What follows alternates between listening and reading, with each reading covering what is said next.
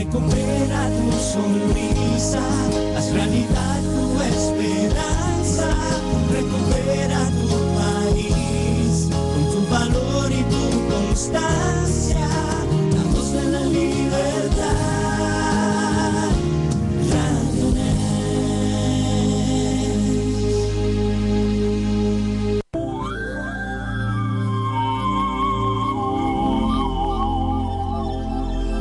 Por milenios, el ser humano ha buscado la ruta correcta para lograr la subsistencia y encontrar la libertad.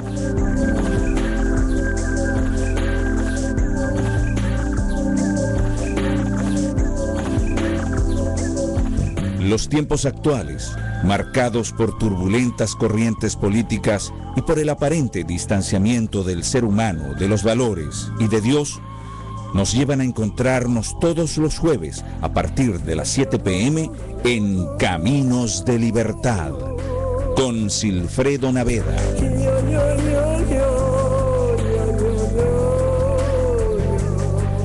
Caminos de Libertad es un programa donde ustedes y nosotros encontraremos juntos la ruta correcta hacia la libertad, hacia la paz, hacia la justicia y hacia la democracia. Caminos de Libertad, todos los jueves a partir de las 7 pm, con la producción de Alejandra López y la doctora Blanca Briceño. Caminos de Libertad, con Silfredo Naveda, todos los jueves a partir de las 7 pm.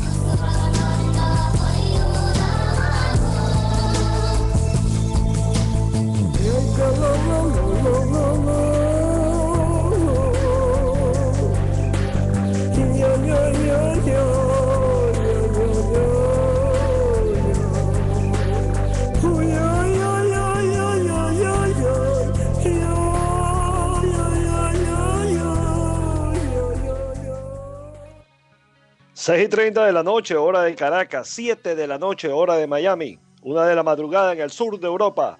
Bienvenidos a Caminos de Libertad, el cual es solo posible gracias a Radio Next, la voz de la libertad y a la organización Libérenlos Ya, que luchan por la libertad de nuestros presos y, y nuestros perseguidos políticos. Les recuerdo que nos pueden escuchar por diferido a través de las siguientes páginas web www.ustream.radionext.com www.icaracha.wordpress.com y www.grupoaidesven.wordpress.com. También nos puedes escribir a nuestro grupo en Facebook, Caminos de Libertad por Radio Next. A nuestro Twitter, arroba camino-libertad o a nuestro correo caminos de libertad arroba radionext.com. Participa con nosotros llamándonos a través de los siguientes números.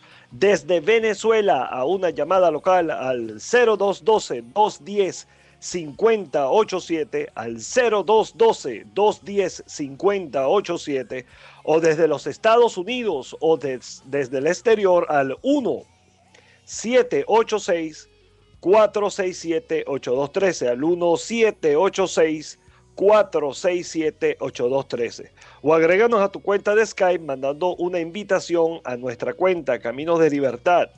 En el Control Master se encuentra Paul Sphere, el locutor Guinness de Miami.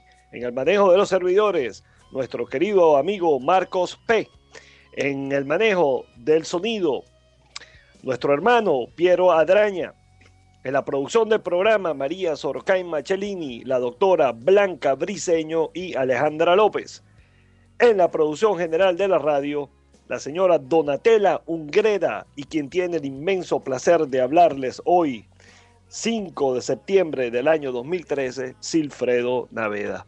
Bueno, bienvenidos una vez más a Caminos de Libertad, el cual se transmite todos los jueves a partir de las 6 y 30 de la noche, hora de Caracas, 7 de la noche, hora de Miami, a través de la radio que lucha por la libertad y es la voz de la libertad, Radio Next. Como todos los jueves, nos acompaña desde Italia la doctora Blanca Briceño. a quien estoy llamando en este instante para que empecemos eh, a tratar los temas que hemos eh, escogido cuidadosamente para eh, llevarlos a este programa, esta ventana que se nos abre, como dije, todos los jueves por Radio Next. está repicando su teléfono, estoy esperando que conteste, ya la tenemos allí, creo. Bueno, bienvenida Blanca, ¿cómo estás? Buenas noches. Buenas noches a todos nuestros Radio Next oyentes. Bien, gracias a Dios y ustedes. Mira, Blanca, y, esa, esa, esa especie de, pin que tienes ahí en la, camisa, ¿de qué, ¿de qué se trata? Bueno, mira, te lo, gracias Cifredo por preguntármelo. Eh, estamos en, en, una campaña de recolección de firmas del Partido Radical y mm, con 12 referendas, porque fíjate cuál es el eslogan, cambiemos nosotros, visto que hay una parálisis completa y hubo tres meses sobre todo el, eh, Poder Legislativo en total inercia, pues ellos han propuesto esto, justicia justa porque eh, se considera que el Estado, la República Italiana, vive en una partidocracia antidemocrática y está acusada técnicamente de criminalidad por la situación de tortura en las cárceles desde hace 35 años por la Corte de Derechos eh, de los Derechos Humanos Europeos. O sea que es muy importante esta batalla y nos sirve de estímulo para saber que siempre hay razones, motivos y se encuentran las posibilidades para luchar, Silfredo. Espero que nosotros lograremos recoger 500 mil firmas antes del 26 de septiembre en el nombre de Dios. Bueno, Blanca, eso es una, una prueba más de que ninguna batalla es pequeña y que todas las cosas que podamos hacer en pro de la libertad, no solamente de Venezuela, sino de todos estos países que lamentablemente están siendo arropados para, por la sombra tenebrosa del, del comunismo y del socialismo, eh, este el socialismo del siglo XXI, eh, eh, motive a, todos los, a todos nuestros compatriotas y a todos los habitantes de esos países a organizarse de manera de la manera que puedan y, esta iniciativa del Partido Radical Italiano me parece una, una tremenda idea que podría ser utilizada en Venezuela para, para alcanzar y para luchar por la libertad, ¿no? Este, mira, eh, yo quisiera este, que comenzáramos eh, con las noticias que hemos escogido para nuestros oyentes eh, en cualquier momento, en el momento que tú lo indiques. ¿Te parece? Bueno, arranca pues. Bueno, comenzamos ya.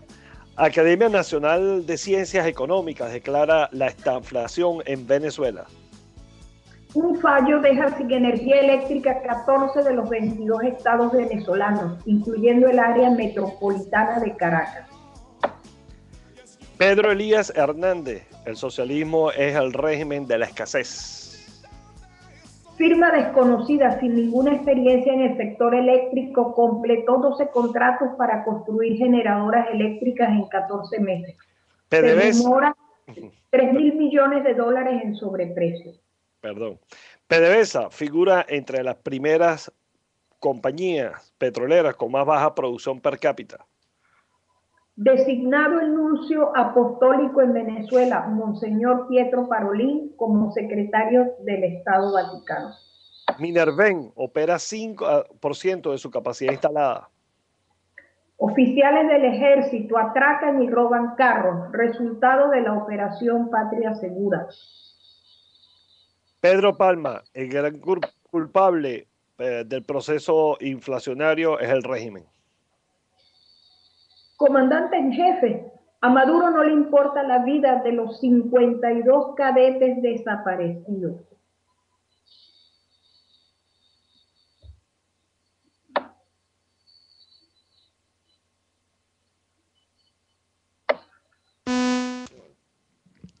¿Me escucha ahora, Blanca? Te escucho en este momento. Bueno, le pido disculpas a, nuestros, a nuestros oyentes, tuve un pequeño problema.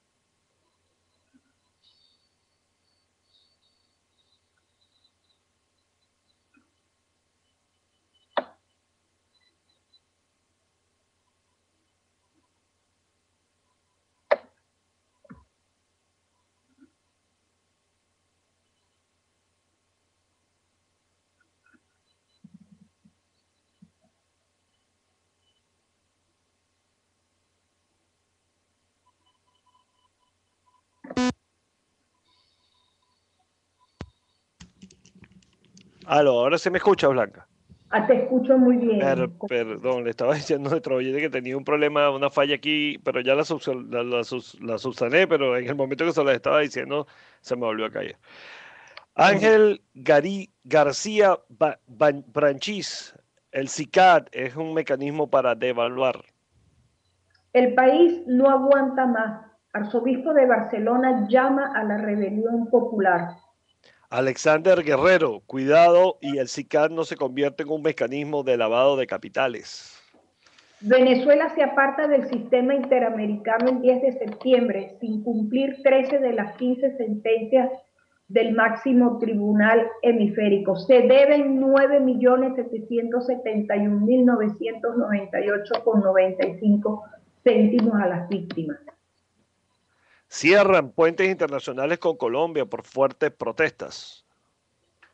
ONU solicita al gobierno nacional que investigue y castigue agresiones contra indígenas Yanomami de la región amazónica, al igual que los Yucpa, un pueblo que habita la sierra de Perijá. Venezuela alcanzó el lamentable puesto del país menos competitivo de Sudamérica. Capriles, queremos paz en el mundo, pero primero luz en la casa. Conoco Phillips señaló que según el Banco Mundial, expropiación hecha por el régimen venezolano fue totalmente ilegal.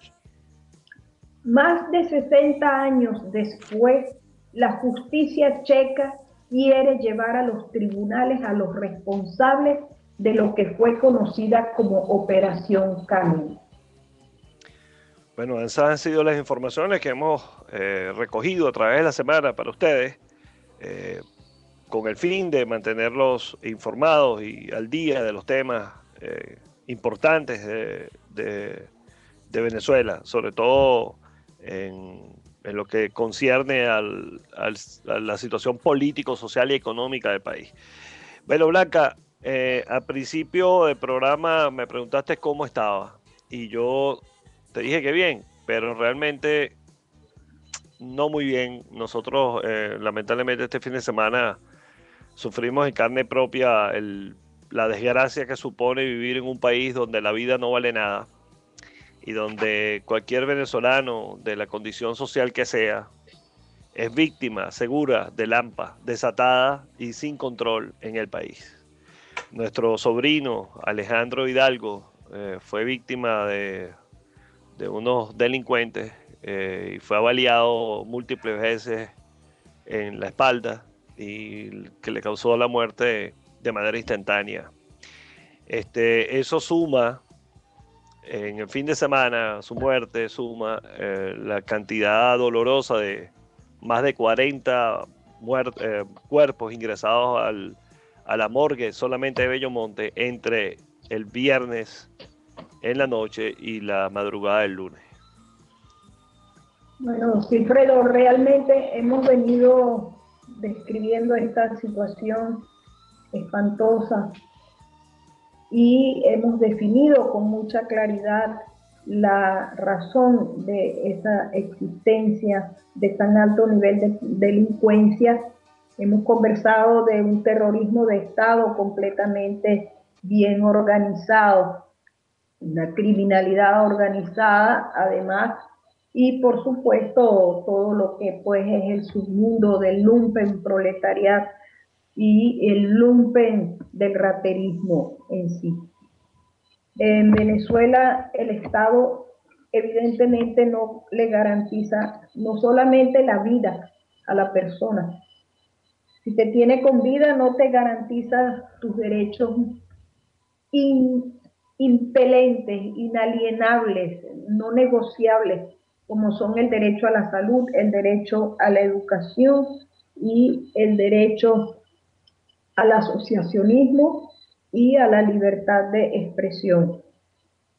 En realidad, eh, saber que uno puede ir para la playa, tomarse una cerveza y visitar un centro comercial no son razones suficientes como para no vivir el profundo dolor de este genocidio físico, moral, cultural, espiritual e institucional que el castrocomunismo ha implantado en Venezuela para poder garantizar la sobrevivencia de una ambición desmedida de poder de dos ancianos y desde una isla tan pequeña que sin embargo ha llevado guerra, dolor, lágrimas, sufrimiento en todos los continentes y sobre todo la atrocidad de haber creado los niños de la guerra, Silfredo.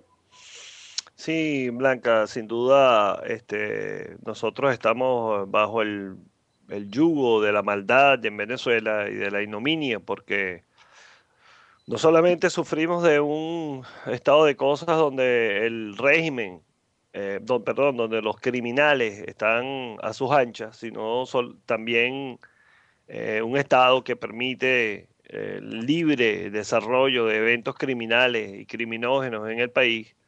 Y vemos eh, anuncios de planes y plancitos que al final no representan ni se traducen en una disminución real, ¿verdad?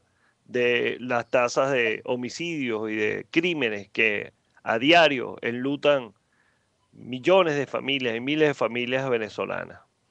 Eh, nosotros, desde que este programa comenzó, hemos venido denunciando esta situación eh, porque entendemos que eh, nosotros vivimos en ese país, o sea, nuestras familias viven en ese país, y que eh, cualquier persona está propensa a sufrir de, de esas desgracias. Y lamentablemente nos ocurrió esta semana a nosotros, nos tocó a mí personalmente por segunda vez en, lo que va de 14 años, me han asesinado a un familiar. Pero ah, hemos leído noticias aquí donde madres le han matado hasta tres hijos. O sea, un drama, un drama eh, eh, social inmenso y que supone no solamente un crimen ah, común, sino un crimen de lesa humanidad perpetrado por delincuentes que en su mayoría portan armas que vienen del mismo régimen, que vienen del mismo régimen porque hemos visto cómo el Insepulto, en más de una ocasión, eh, cuando hacía pompas acerca de la importación y la compra de Kaleinikov, de armamentos rusos en el país, anunció de manera pública que muchos de esos armamentos eh, serían para la milicia. Y es bien sabido que muchos de esos armamentos, acá 47, están en manos de grupos delincuenciales. Vimos grupos como La Piedrita en meses pasados, donde em, difundieron videos y fotos eh, con niños armados y el régimen se hizo la vista gorda. Incluso el maleante este de Sierra o Serra, que es un diputadito que, está allí del PSV, eh, estaba junto a el jefe del, grupo La Piedrita. En este instante no recuerdo, creo que su apellido es Blanco, si no me equivoco. Sí, no recuerdo el nombre. Y él, el cual en, en, un a los ciudadanos, el mismo Insepulto pidió que se le, se le arrestara, aunque obviamente este, en un Estado de Derecho y de Justicia, el presidente de la República no tiene ninguna autoridad para mandar a meter preso a nadie. Pero, este, siendo una noticia criminis, eh, debieron haber tomado eh, carta en el asunto. Tenemos una llamada telefónica que te vamos a atender en este instante. Buenas noches, bienvenido a Camino de Libertad, estás al aire. Buenas noches, Silfredo, aquí Carmen Hernández. ¿Cómo está, señor Hernández? ¿Cómo me le va?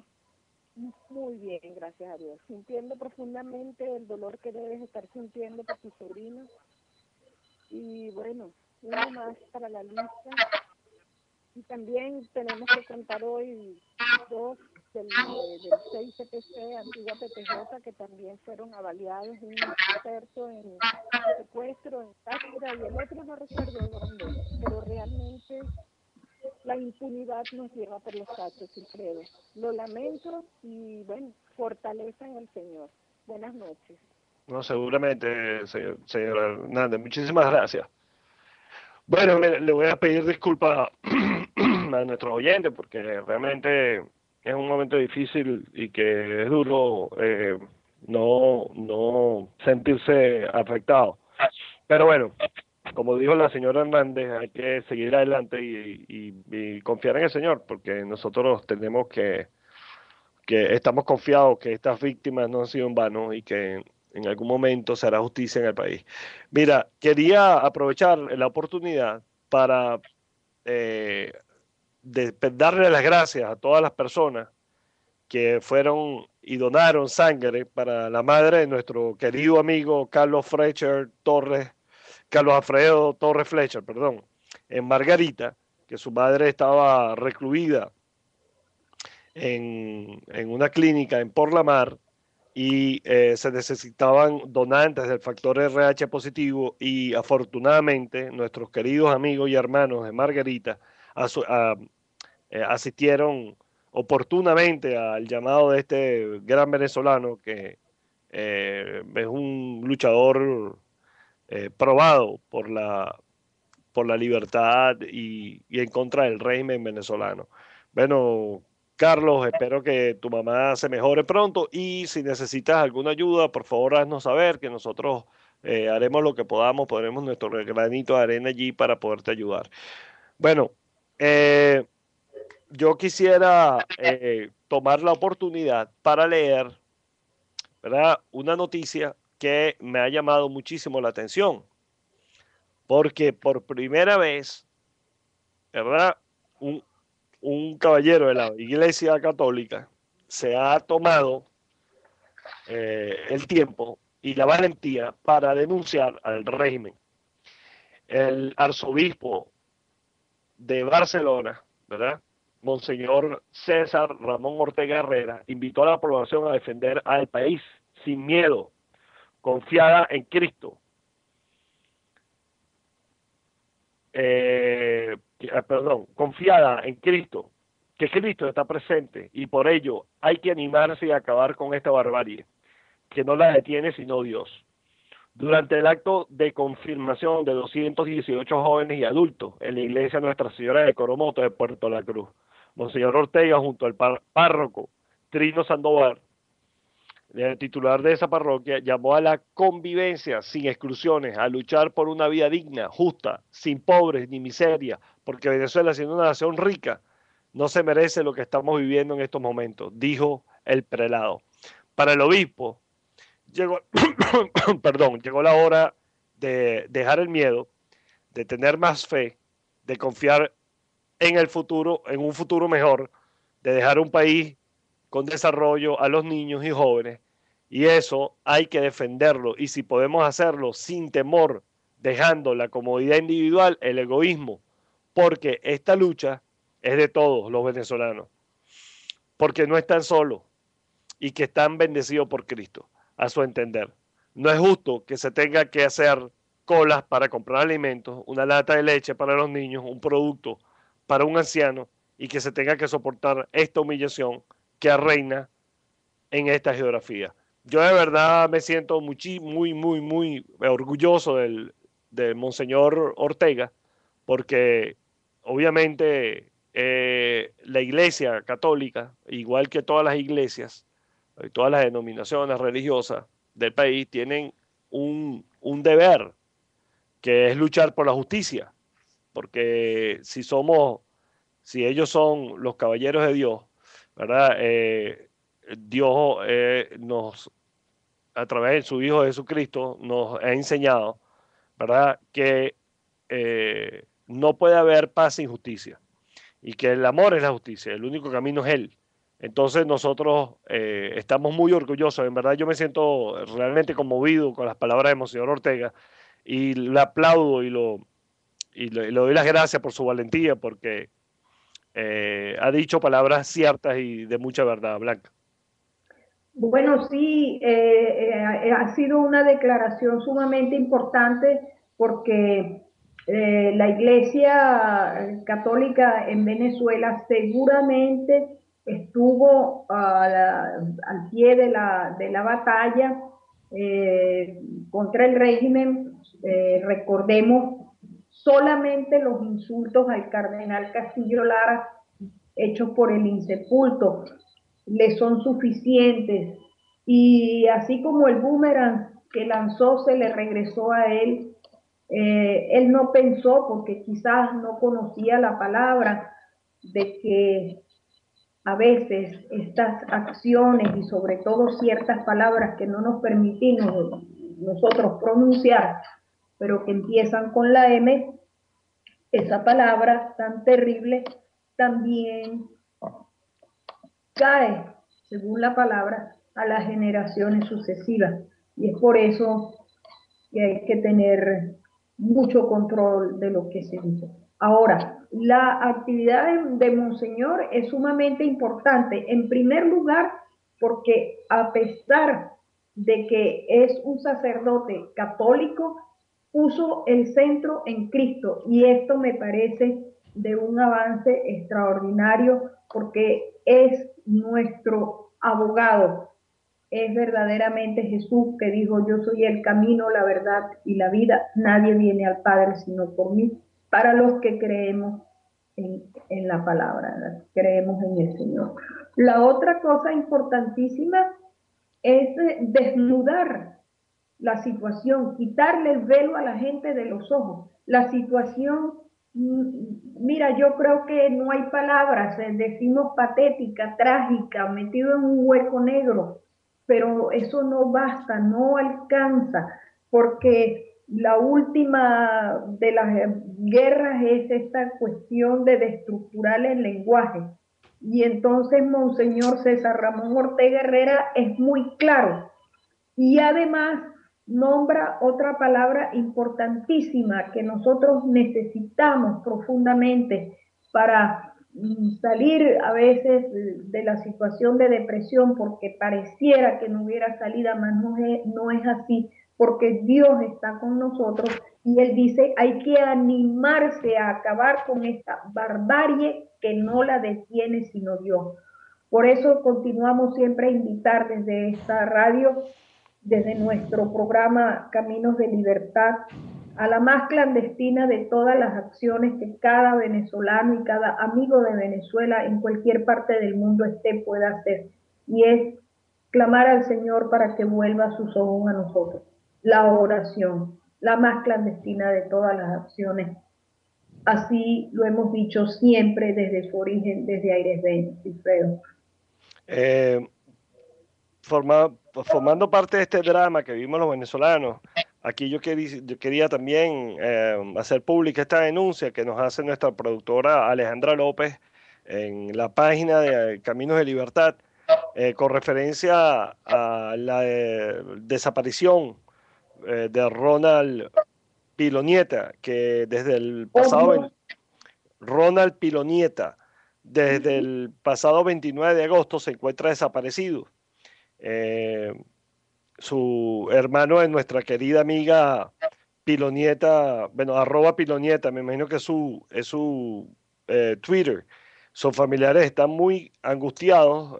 ayúdenos a, difundir se agradece cualquier información sobre su paradero. Ojalá el, amigo Pilonieta llegue salvo y sano a su casa y no vaya a ser que, que, lamentablemente vaya a formar parte de la desgracia que hoy nos enluta a, millones de venezolanos.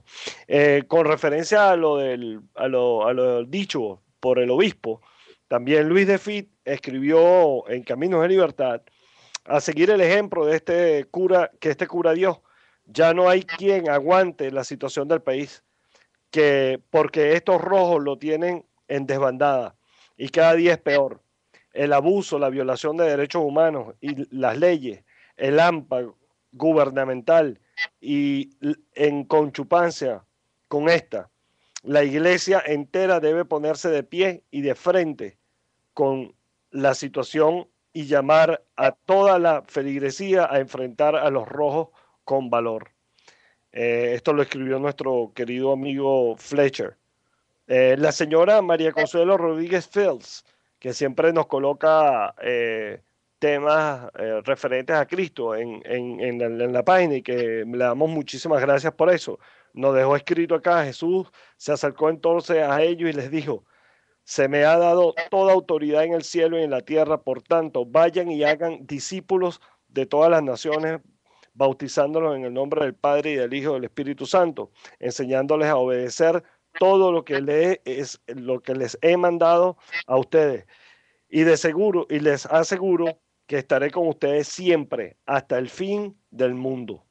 Esto es un mensaje claro de valentía y de confianza en Cristo, porque nosotros, eh, los venezolanos, por, por naturaleza, como una vez, como lo dijo la semana pasada Blanca, desde que estamos chiquitos, nuestra madre nos dice Dios te bendiga, somos un pueblo creyente de Dios. Y somos un pueblo creyente en Dios y tenemos que tener confianza en Dios. No podemos olvidarnos que no estamos solos. Entonces debemos dejar el miedo a un lado. Y yo entiendo que el miedo está allí, mire, no, nos cuesta vida todas las semanas, nos cuesta gente todas las semanas muerta, eh, amigos presos, pero el miedo solamente nos hará más presos de esta situación lamentable por la cual estamos viviendo, Blanca.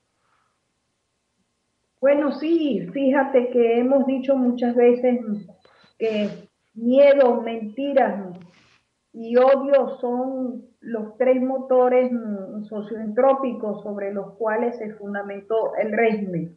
Indiscutiblemente habilitó un terrorismo de Estado para poder generar esas circunstancias y además generó la oposición que necesitaba para que ninguna de estas situaciones tan graves fuese batallada en el modo correcto. Porque si ciertamente hay caminos, como decimos muy bien nosotros, caminos de libertad, hay caminos que no nos conducen al objetivo principal que es la recuperación del país.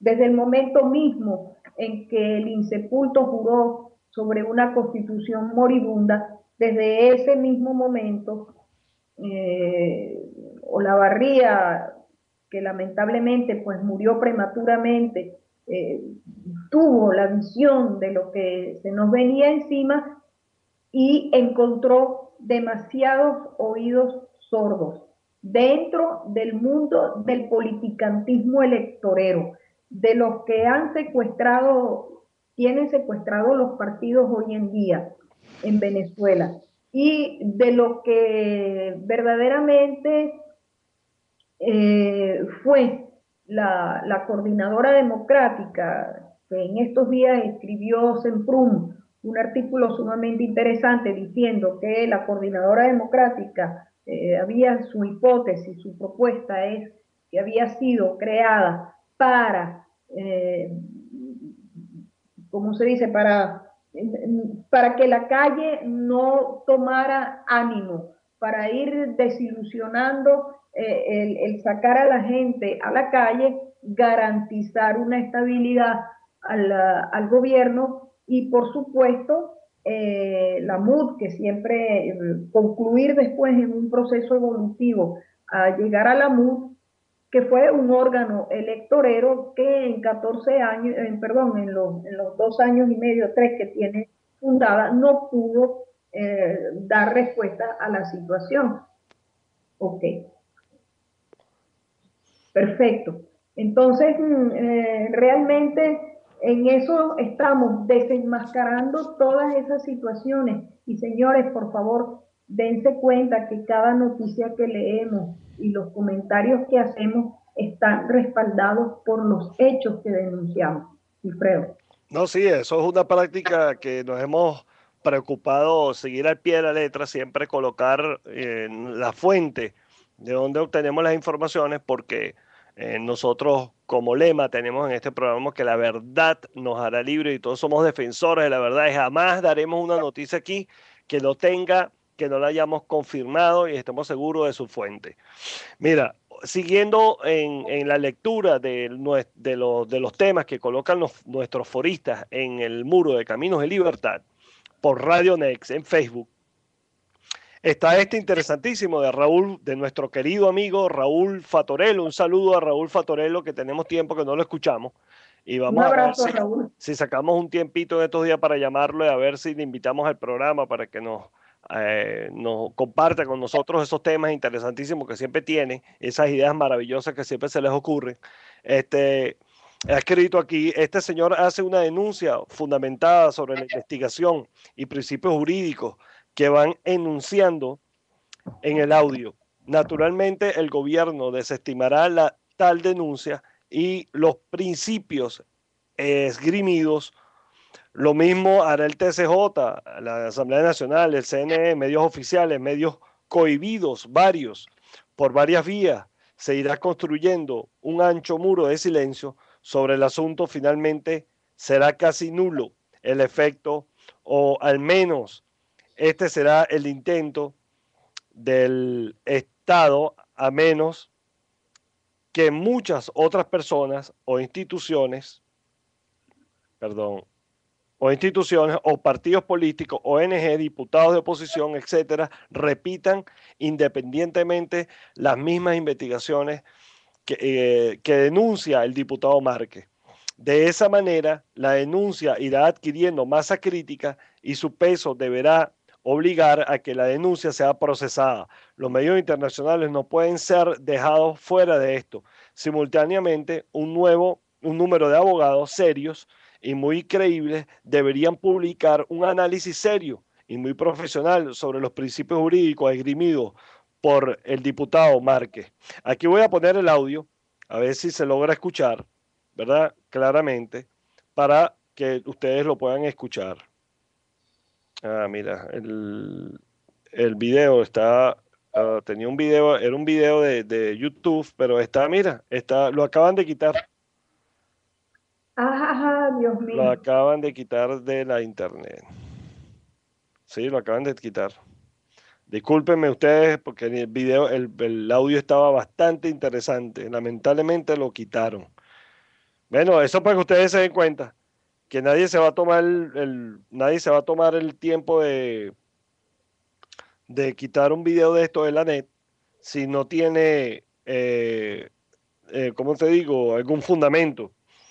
Bueno, sí, eh, como decimos en, en, en, criollísimo, el que se pica es porque así come. Sí, de todas maneras, mientras tú vas, a, vas, vas, tratando otro tema allí, Blanca, o el mismo, yo voy a ir buscando en YouTube a ver si encuentro el audio.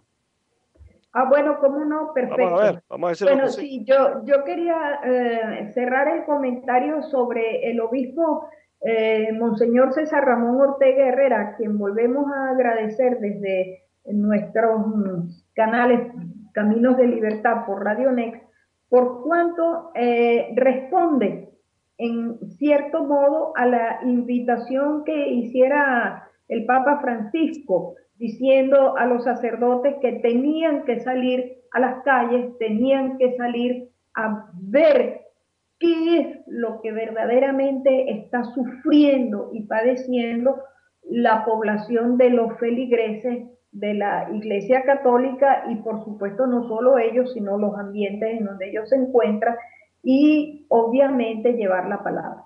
Porque esto lo quisiera asociar, me, me parece sumamente importante que seguramente esta posición, esta propuesta tan enérgica y radical de Monseñor Ortega Herrera eh, coincide en algún modo probablemente no solo con esas palabras que acabo de citar de Papa Francisco, sino que además tenemos el nombramiento de, del nuncio apostólico venezolano, Monseñor Parolín, que fíjate, él no es cardenal, sin embargo tiene una gran tradición y es un hombre de mucha cultura y una escuela de mucha altura en temas diplomáticos. Él viene de haber estado en Vietnam, donde hay una población católica no indiferente, eh, Corea, China e inclusive de un encuentro con Putin.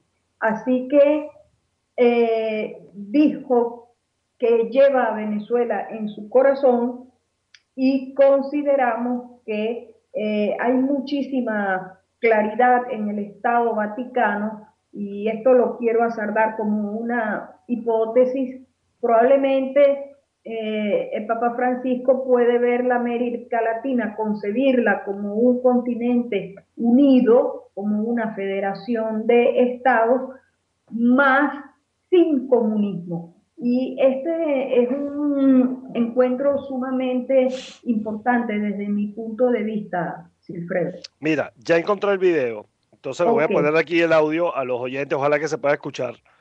Tú me dices si se escucha bien. Correcto.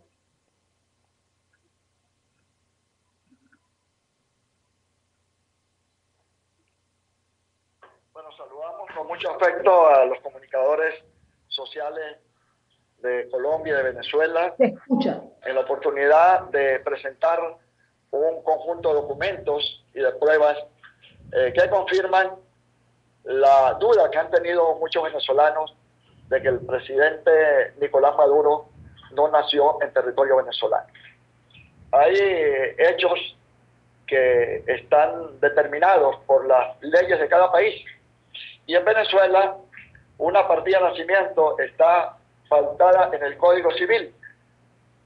Hace más de un siglo eh, esas normas están vigentes. Y también el registro civil en Venezuela, que se inicia en 1873, tiene una serie de procedimientos que en el caso de Nicolás Maduro no se cumplieron. Él no tiene partida de nacimiento en Venezuela. Cuando él se casó en 1988 con su anterior esposa, no presentó la partida de nacimiento y señala que él nació en la parroquia Santa Rosalía. La parroquia Santa Rosalía inicia todos sus documentos en 1876. Nosotros rastreamos todos los años 62 en que él alega que nació el 60, 61, 62, 63 y no aparece partida de nacimiento de Nicolás Maduro. Luego, el canciller Elías Agua señala que él nació en el Valle. Suponemos que es en el Valle de Caracas. No creemos que el canciller se haya confundido con el Valle del Cauca, que puede ser otra posibilidad. Aunque otros señalan humorísticamente que Nicolás Maduro nació en Viena. Viena ya hay Cúcuta.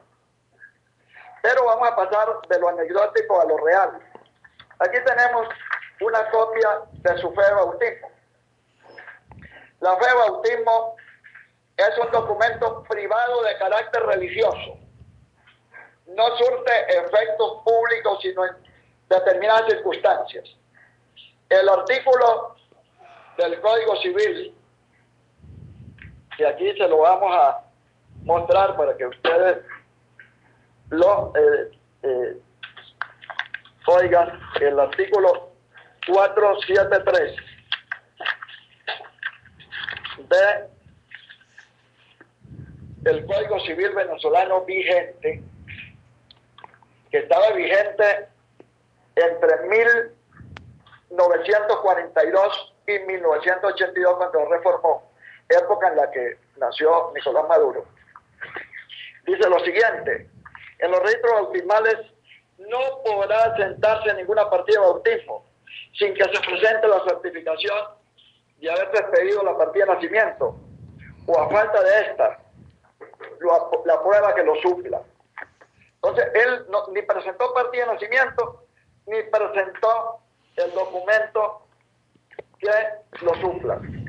Esta es el acta 1373 del año 1990, perdón, del año 1964, dos años después de él haber nacido, o sea, una partida temporánea, y no presentó los documentos que sigue el Código Civil venezolano.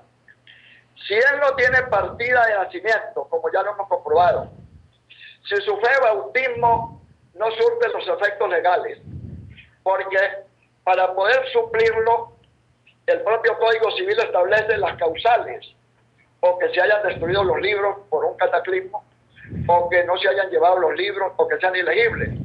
Esos libros existen, por lo tanto no puede alegar que va a suplir la partida de nacimiento.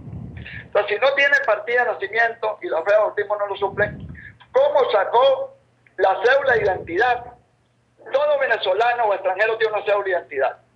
Y Nicolás Maduro no cumplió con esos requisitos. Por lo tanto, como representante del pueblo, como así lo determina la Constitución Nacional, la Constitución de la República con respecto a los parlamentarios, le exijo a Nicolás Maduro, en primer lugar, que presente su partida de nacimiento.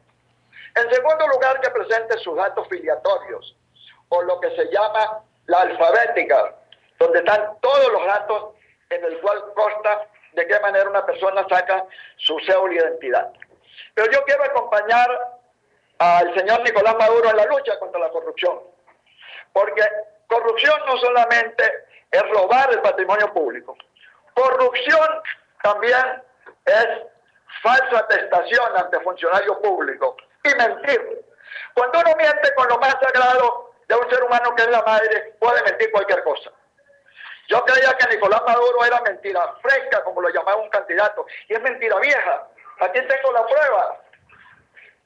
Cuando murió su mamá en 1994, él fue el que la presentó ante la, el municipio Sucre, el acta de función 1883.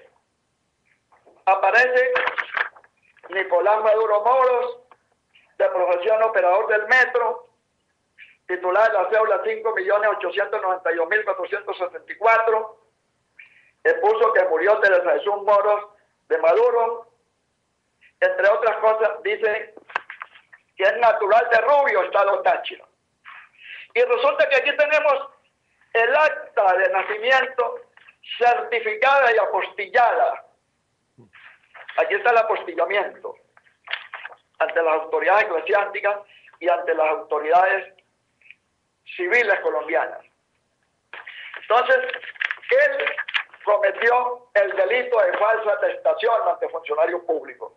Y eso no solamente es un delito penal, es un hecho también cuando hay falsificación de documentos públicos, es un delito de corrupción. Entonces, estamos en presencia de un hecho que compromete la seguridad del Estado venezolano. Y señor Maduro, debe estar presionando a la gente para que no entreguen documentos. Hemos pedido certificaciones y nos han informado que no lo entregan porque en Miraflores están presionando. Pero ya nosotros tenemos copia de la mayoría de esos documentos. Así que mi planteamiento como parlamentario y como historiador es que Nicolás Maduro no ha pasado la prueba, él no ha demostrado que es auténtico venezolano y al no ser venezolano violó el artículo 227 de la Constitución de la República que exige requisitos de elegibilidad. La Constitución de 1961 establecía un solo requisito, ser venezolano por nacimiento. Pero la Constitución de 1999, en la cual Nicolás Maduro fue constituyentista, está la firma de él, se incorpora ser venezolano por nacimiento y sin ninguna otra nacionalidad. Él no puede conocer ese artículo porque él fue uno de los constituyentistas. Además, eso fue aprobado por el pueblo venezolano el 15 de diciembre de 1999. Entonces estamos ante un hecho grave, bochornoso, que compromete a todos los venezolanos. El artículo 28 de la Constitución nos da la facultad de tener acceso a cualquier documento público que tenga interés el pueblo venezolano. En base a eso, exigimos que él, de manera transparente, presente los documentos que demuestran lo contrario a lo que yo estoy diciendo. En otras palabras, no es un presidente legítimo porque viola el artículo 41 de la Constitución de la República Bolivariana de Venezuela, que señala no ya requisito de la elegibilidad, sino requisito del ejercicio del poder. Dice, no podrán, voy a leerle el artículo 41 de la Carta Magna.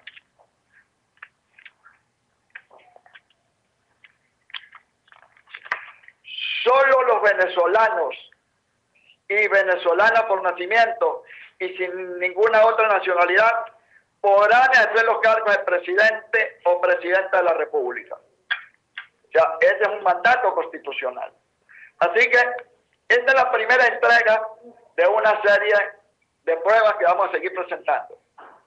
Porque tengo la convicción, en base a mi experiencia parlamentaria y historiador, que Nicolás Maduro no pasa la prueba, no es un presidente legítimo y obtuvo la nacionalidad y la ciudadanía eh, y la cédula de manera fraudulenta. Bueno, ahí... Ah, perdón, no terminé. Colombia, que surte plena prueba, porque, la, perdón, la, ¿qué decía? Es de Colombia, esa Es de Colombia, de Cúcuta. ¿Qué, qué datos ofrece allí? que dicen que Bueno. parte fue... Bueno, mira, aquí dice, diócesis de Cúcuta, parroquia San Antonio de Padua. Acta de bautismo, libro 1, folio 195, marginal 1155, Teresa de Jesús, Moros Acevedo. Yo comparé todos los datos de ella con los datos que aparecen en la acta de difunción. Son los mismos padres, es el mismo año de nacimiento. No nos podemos confundir con un homónimo del mismo nombre, no, es ella. Es acta de nacimiento o fe bautismo en Cúcuta, de la parroquia de San Antonio de Padua de Cúcuta, que surte plena prueba porque el registro civil en Colombia se inicia en 1936. Por lo tanto, una partida o fe de bautismo en Colombia, antes de ese año, antes que se creara la Registraduría Nacional, surte plena prueba. Por lo tanto, lo que es la firma, y aquí está la firma de Nicolás Maduro, y ustedes le pueden hacer un zoom. Es la misma firma que aparece, es la misma firma que aparece en las gacetas oficiales. Él mintió sobre la nacionalidad de su mamá y sobre el lugar de nacimiento de la mamá. Son documentos públicos, es un delito. ¿Con qué autoridad moral va a hablar de lucha contra la corrupción, que no es un corrupto que fue- participó en falsificación de documentos y le mintió al pueblo venezolano? Entonces, aclare eso. Se lo exijo como ciudadano, como parlamentario y como historiador. No sé si alguien... Bueno, ahí tienen ustedes este el audio del diputado Márquez, en el cual, el cual le estaba haciendo referencia que montó en la página de Caminos de Libertad nuestro querido amigo Raúl Fatorello, en el cual eh, el diputado Márquez, eh, de manera bastante clara, creo yo, eh, describe sus argumentos, en los cuales él afirma que el el dictador venezolano no, o mejor dicho, en Venezuela, instalado en Venezuela legítimamente, no nació en Venezuela, Blanca. Fíjate que es, eh, es justamente, ¿no? Eh, ya él es, el- lo llamamos el írrito, porque realmente no hay otra, otra expresión apropiada para definir acertadamente cuál es eh, la situación. Eh, prácticamente que todo el desgobierno hoy en día se encuentra en una condición de anticonstitucionalidad porque el 10 de enero de, del 2013 tenían que cumplirse una serie de actos que, y sucesos que no fueron atendidos como la constitución manda. Eso por una parte. Por la otra, realmente sí, el artículo 41 es bien importante porque no puede ejercer ese cargo y eh, no es solamente el único artículo, hay otros, pero ese es bien importante. Y bueno, eh, agradecemos la valentía eh, del diputado eh, Walter Mackey porque es realmente enfrentarse a un monstruo de, doble, de dos cabezas, porque el señor Ramón Guillermo Aveledo sostuvo que esa era una cuestión que no valía nada y Ramón Jayupa en estos días dijo que eso había que superarlo. Entonces a ellos dos les parece maravilloso ser comandados por un, por un vivivo que tiene muchas acusaciones en su, en su cargo, porque él tiene un pasado en donde ha habido actos de violencia sumamente graves, es una persona reconocida técnicamente como el peor chofer del metro de Caracas porque dañó una cantidad de autobuses, su ausenteísmo, etcétera, etcétera. Y encima de eso, pues pareciera que al doctor Ramón Guillermo Aveledo y al doctor Ramón Ram, eh, Henry Ramos Ayub les parece maravilloso que sea este señor chofer pues el que les conduzca la vida a ellos. Indiscutiblemente, eh, esta ha sido otra batalla que la pseudo oposición colaboracionista, como tiene a bien llamar el amigo Marco Polesel, eh, no ha dado. No dan batalla por ningún lado. En cambio, somos nosotros, la sociedad civil, las que tenemos que dar esta batalla. Comparto la posición de Raúl Fatorello, porque hoy en día hay una circunstancia particular que con el tema de la Siria, al menos acá en Italia, un experto en la materia, se llama guerra cibernética, como es el ex senador radical Marco Perduca, tuvo una conferencia extraordinaria explicando el poder de los medios de comunicación. Entonces estamos obligados a darle difusión a este documento, porque ¿por qué tenemos que ser comandados por alguien que no respeta en ningún momento? ¿ah?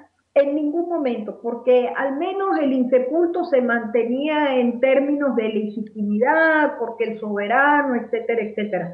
Pero en cambio este señor va a remete totalmente contra la Constitución cada segundo, Cifreo.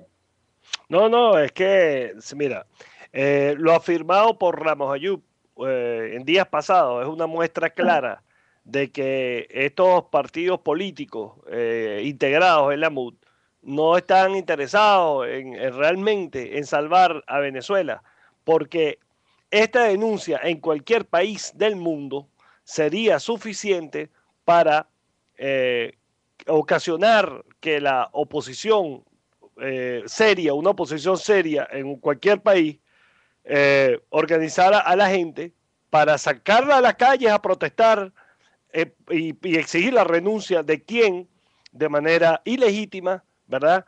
Y mentirosa y corrupta ostenta una posición que por ley no le corresponde. Entonces, Nicolás Maduro, no solamente, como dijo el diputado Walter, Walter Márquez, eh, no nació en Venezuela, sino que además de eso mintió cuando presentó la, cuando hizo o tramitó el acta de defunción de su madre diciendo que ella había nacido en Rubio cuando realmente nació en Cúcuta. Por lo tanto, hay elementos suficientemente importantes que nos indican que esto no se trata de un chisme, ni se trata de una asunción, ni una presunción, sino que se trata de un hecho consumado, un hecho probable que se puede probar y que eh, sería eh, suficiente para que el, presidente ilegítimo de Venezuela dejara de ocupar su cargo automáticamente. Pero además de eso, no solo los partidos políticos, las Fuerzas Armadas Nacionales están siendo comandadas por un individuo mentiroso, corrupto, ¿verdad? Y además de eso, que ha nacido en un país extranjero eh, y, comandando, ¿verdad? De manera eh, como comandante jefe de las Fuerzas Armadas Nacionales, poniendo en entredicho la soberanía nacional, no solamente por haber nacido en Colombia, pero también por haberle entregado el país de manera cobarde, ¿verdad? Y colaboracionista al régimen cubano. Y esa es otro, otra parte del tema, que también es bastante grave el hecho de que Ramos Ayud diga que ese tema hay que dejarlo de un lado porque eh, va a desprestigiar a la oposición, bueno, yo le voy a decir a, al señor Abeledo y a Ayub que no se preocupen, que eso no los va a desprestigiar más de lo que ya están, porque la mayoría de los venezolanos están claros y conscientes de que la BUD solamente está allí para beneficiarse de las prebendas políticas que eh, han servido para que ellos hasta hoy, hasta hoy estén en la palestra pública disfrutando de una posición que por sus actos ha dejado de ser legítima también. Blanca. Bueno, eh, sí, por una parte eh, el problema gravísimo es la seguridad del país, porque nosotros con un, con un aquí lo llaman un capobastones, ¿eh? con, con un individuo al comando, ¿no? Eh, de nuestras, no solamente de las Fuerzas Armadas, sino de todo lo que es el desgobierno y todo lo que es el Estado que ha sido poseído por esta gente, no nos garantiza ningún tipo de seguridad internacional y justamente, y no solamente es la entrega, es la entrega de la plataforma uh, marítima de la salida al Atlántico, es eh, la entrega al régimen castrocomunista, y ahora no sabemos con este problema que se suscita las Naciones Unidas con los Yupa, pues será otra entrega más y vivirá de entrega en entrega. Y los señores de la pseudo oposición colaboracionista sin ningún tipo de vergüenza se mantienen allí porque eso es lo de ellos. El, el problema del poder sin tener presente que eh, están allí porque fueron elegidos para representarnos y eso es un trabajo y eso es lo que nosotros hablamos de la democracia del siglo XXI, es el control ciudadano sobre las acciones, hechos, decisiones de aquellos que en teoría nos representan, pues ellos representan solamente a sí mismos Ramos Ayupa, entre paréntesis, tiene secuestrado Acción Democrática. A lo mejor, si pudiera quedarse solamente con los negocios y, liberar de su, de su dictadura, de su Secretaría General, ese partido, quizás dentro de Acción Democrática haya elementos políticos suficientes, importantes, incluso por su tradición histórica, que puedan reiniciar un camino conjuntamente con la resistencia propositiva no violenta que se encuentra en el exterior, apoyando la resistencia venezolana hacia la libertad. Ciertamente no es así como, como se camina hacia allá, eso es sin lugar a dudas. Y el desprestigio, Silfredo, bueno, yo creo que esto los ha desprestigiado un poco más todavía, porque no es ni siquiera es el orgullo de la venezolanidad. Ya vas a ver que por ahí van a salir que la Gran Colombia y los sueños de Bolívar y no sé qué, no sé qué más. Y entonces, quien quiera, bueno, a lo mejor se traen a Evo Morales para sustituir a, Maduro. Es una, o Evo sustituye a Maduro. Pudiera ser para ellos, pues quiero decir. Sí, es, que definitivamente es increíble que un, una persona que se llame, que se precie llamarse líder de la oposición o líder de un partido político de oposición, nos diga de manera abierta y descarada que un tema tan importante y vital como este, que podría, ¿verdad?, fácilmente producir el descalabro de este régimen oprobioso que hoy está instalado en Venezuela de manera ilegal, ¿verdad? Que nos diga que eh, no, que no hay problema, que eso es un tema ridículo, pues eso es un tema eh, flatuo que no merece eh, la atención de la opinión pública porque significa una ridiculez o significa una afrenta que podría colocar a la oposición en desventaja moral ante eh, la opinión pública. O sea, yo no entiendo eh, la comovisión que emplea eh, Ramos Ayú para poder llegar a esta conclusión torcida y retorcida, ¿verdad? De, de cómo se lucha contra un régimen dictatorial, ¿verdad? en una posición totalmente y claramente colaboracionista, eh, que nos impide o nos quita de alguna manera eh, la posibilidad, ¿verdad?, de, tener el apoyo de los partidos políticos que se llaman democráticos y que deberían servir perfectamente para lo que deberían, para lo que están allí, que es para defender la democracia. Porque ¿qué sentido tiene un partido político que avala a un régimen eh, dictatorial? O sea, no tiene ningún sentido, ¿verdad que no?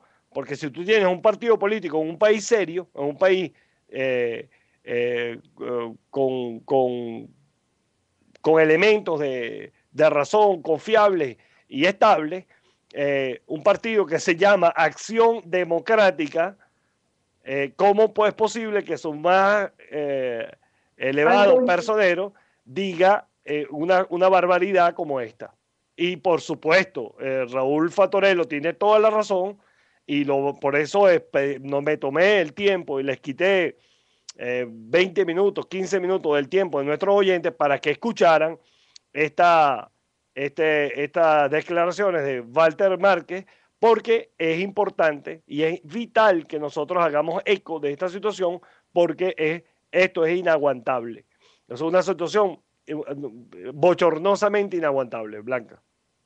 Correcto. Bien, em, digamos que mm, la razón que adujo eh, el, el, Ramos Ayú fue que le quitaba prestigio eh, a la, a la, a la en realidad creo que le agrava el desprestigio que tiene, lo, lo aumenta más por una parte, y por la otra sinceramente eh, tienen el problema de que eh, sabemos con certeza que negociaron 63 alcaldías. Ahora vamos a ver si en realidad las pueden obtener y sobre todo... Tenemos una llamada telefónica, Blanca. Un segundo. Bienvenido a Caminos de Libertad, estás al aire. Buenas noches, mi querido amigo Silfredo. Buenas noches, mi querida oh. amiga Blanca. Don Mario López, ¿cómo está? Mario. Don Mario, ¿cómo está? Bueno, motivado oyéndolos a ustedes, su análisis, y lo, me motivé a llamarlo porque la situación en el país es insoportable. Y suscribo absolutamente todo el análisis que han hecho ustedes y quiero, con la venia de ustedes, acotaron que sea unos dos minutos más eh, su, su análisis extraordinario de lo que está sucediendo con nuestra patria. Definitivamente, Silfredo y, Blanca tienen la razón. Desgraciadamente, lo que hay es traidores a la patria. Henry Ramos Alud es un traidor a la patria. El doctor Averero es otro traidor a la patria. Los partidos políticos de hoy en día distan mucho de lo que fueron los partidos políticos de 1958, cuando estaban en aquella época de los años 40 y, mucho antes la generación del 21, retomando la libertad y la democracia contra Juan Vicente Gómez y todos los dictadores y todo lo que sucedió con, con Marcos Pérez Jiménez. Es bochornoso y yo que soy hijo de una familia fundadora no solamente del Partido Acción Democrática, sino de la democracia, y que estuvieron en Aguacina muchos de mis, de mis tíos y tías, ver esta situación que está pasando en Venezuela. Pero no es el hecho de que sea acción democrática, sino que primero somos venezolanos, chicos. Venezuela es primero, hemos perdido la, la Guayana Esequiba. ¿Hasta cuándo los militares están en, esa, en ese guabineo y no reaccionan como tienen que reaccionar. Y el pueblo venezolano con esa indolencia, esa apatía, nos están matando de hambre. No hay electricidad, estamos a punto de colapsar eléctricamente el, país. ¿Qué está sucediendo con el venezolano de verdad, verdad? Que no nos organizamos por las redes sociales y de una vez damos un paso al frente y salimos todos los venezolanos en cada uno de los rincones de nuestra patria para poder la democracia, sino rescatar a los presos políticos y rescatar nuestras libertades individuales y nuestras libertades políticas. ¿Qué nos está pasando a los venezolanos que somos tan indolentes, tan ineptos, que no podemos lograr organizarnos por las redes sociales y ustedes que todos los días, toda la semana están concientizando al pueblo venezolano y están haciendo una lucha extraordinaria allá en el exterior del país junto con Pole Félix, todos los radiones y muchos venezolanos que están ahí en todas partes del mundo, Italia, España, Portugal, Francia, pare puede contar y aquí los venezolanos somos incapaces de una vez por todas salirle al frente a esta situación y, y dejar la comodidad. Tenemos que organizarnos, venezolanos que me estén oyendo. Tenemos que organizarnos y dejarnos de pendejada con la MUT y exigir los derechos y, y nuestra obligación como venezolanos de verdad, verdad, no mentira, no falsos venezolanos y traidores y sinvergüenza y bandidos, es rescatar el, el país y el territorio nacional. Estamos perdiendo absolutamente la dignidad y los valores humanos aquí en nuestra patria. Y muchos venezolanos estamos ya obstinados. Y olvídense, compatriotas venezolanos, de estar oyendo convocatorias. Nosotros mismos nos tenemos que organizar por las redes sociales y tenemos que salir unidos, abrazo partido para rescatar la patria de nuestro libertador Simón Bolívar, de nuestros libertadores como José Antonio Páez, que por eso somos república en el año de 1830, el 22 de septiembre de 1830. ¿Hasta cuándo los venezolanos no tenemos sangre en las venas? Pues que no nos duele nuestro territorio nacional. Ya perdimos el, el territorio sequio, son 160 mil kilómetros cuadrados, con las inmensas riquezas que necesitamos para el futuro, no mío, sino de nuestros hijos, de nuestros nietos y de todos los venezolanos que están afuera. ¿Hasta cuándo los militares del de la rebelión de 1992, que fue una de las causas por las cuales se rebelaron contra el, eh, eh, la democracia venezolana, no van a dar un paso al frente contra estos traidores del alto mando militar y de este señor que es ilegítimo y es colombiano y no es el hecho de que sea colombiano, sino que no es venezolano, sino un traidor a la patria que le están entregando el país a pedacito y poco a poco a los cubanos, porque el primer traidor a la patria se llama Hugo Rafael Chávez Fría y sécalo el mundo entero, desgraciadamente agarró más de 7 mil millones de dólares americanos y se lo dejó a, su familia. Entonces, ¿hasta cuándo la apatía? Organicémonos, unámonos todos de una vez por todas, abrazo partidos por rescatar nuestro país, por rescatar la democracia, la libertad de los presos políticos y después decirle a Guyana que nos entreguen ese equipo. Y si vamos a la guerra, yo soy el primero, Mario Alberto López Sánchez, que estaré al frente para recuperar el territorio nacional. Ya basta de indolencia venezolano, ya basta de tanta apatía. ¿Hasta cuándo, venezolano, van a seguir ustedes con el juego de estos dirigentes, pseudo dirigentes, y que han secuestrado la democracia venezolana y han secuestrado a todo un país y lo tienen de rodillas? Muchas gracias por oírme, Cifreo. Muchas gracias, Blanca, por darme esa oportunidad de este, amor que es de muchos de los venezolanos que estamos aquí padeciendo y ustedes lo están haciendo muy bien porque todos, y yo tengo fe en Venezuela y tengo fe en, todos nosotros, que vamos a salir de esta pesadilla. Lo sigo yendo. Muy buenas noches y que Dios bendiga a Venezuela. Gracias, Amén. Mario. Y Dios lo bendiga, don Mario. Muchísimas gracias a ti por, por, la, por, por llamarnos y ese análisis que nos acabas de ofrecer y apasionado y con toda razón justificado acerca de, de, tu, de cómo te sientes acerca del país, porque muchos, muchos estamos en, y nos hacemos esa misma pregunta, ¿dónde están las Fuerzas Armadas venezolanas? ¿Qué pasó con los venezolanos eh, dignos que eh, han integrado las filas de esa gloriosa Fuerza Armada y que debería servir para, para eh, defender la democracia y la libertad? y la soberanía, sobre todo la soberanía nacional. Cuando hablamos de un presidente ilegítimo, estamos hablando directamente de la entrega y la renuncia a nuestra soberanía nacional, permitiendo que un extranjero sea presidente o ostente los signos eh, que representa el poder ejecutivo en Venezuela, violando la ley, violando la constitución nacional y sobre todo eh, violando el mandato directo que tiene o que ordena la Constitución en cuanto y en tanto a las Fuerzas Armadas Nacionales están constituidas principalmente para defendernos de cualquier enemigo externo o interno eh, y sobre todo resguardar la soberanía del país, Blanca. Bueno, Silfredo, eh, realmente, finalmente, don Mario hoy nos ha puesto a los que estamos lejos, nos ha hecho tocar con manos lo que a veces decimos y también hoy tuvimos la ocasión de decirlo, mientras hay playas, cervezas y centros comerciales, hay una situación difícil por cuanto hay las mentes poseídas, los espíritus adormentados, las almas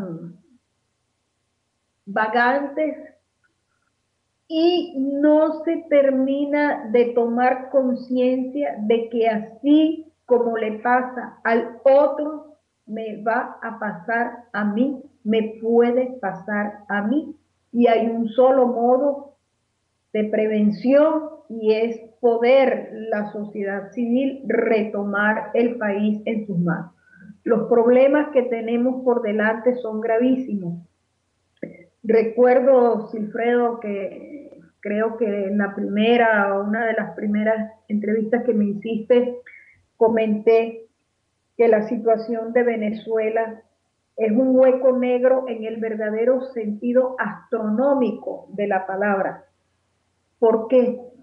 Solamente como servicios secretos nosotros tenemos adentro el G2 cubano, servicio secreto iraniano, chino, ruso, por la medida pequeña.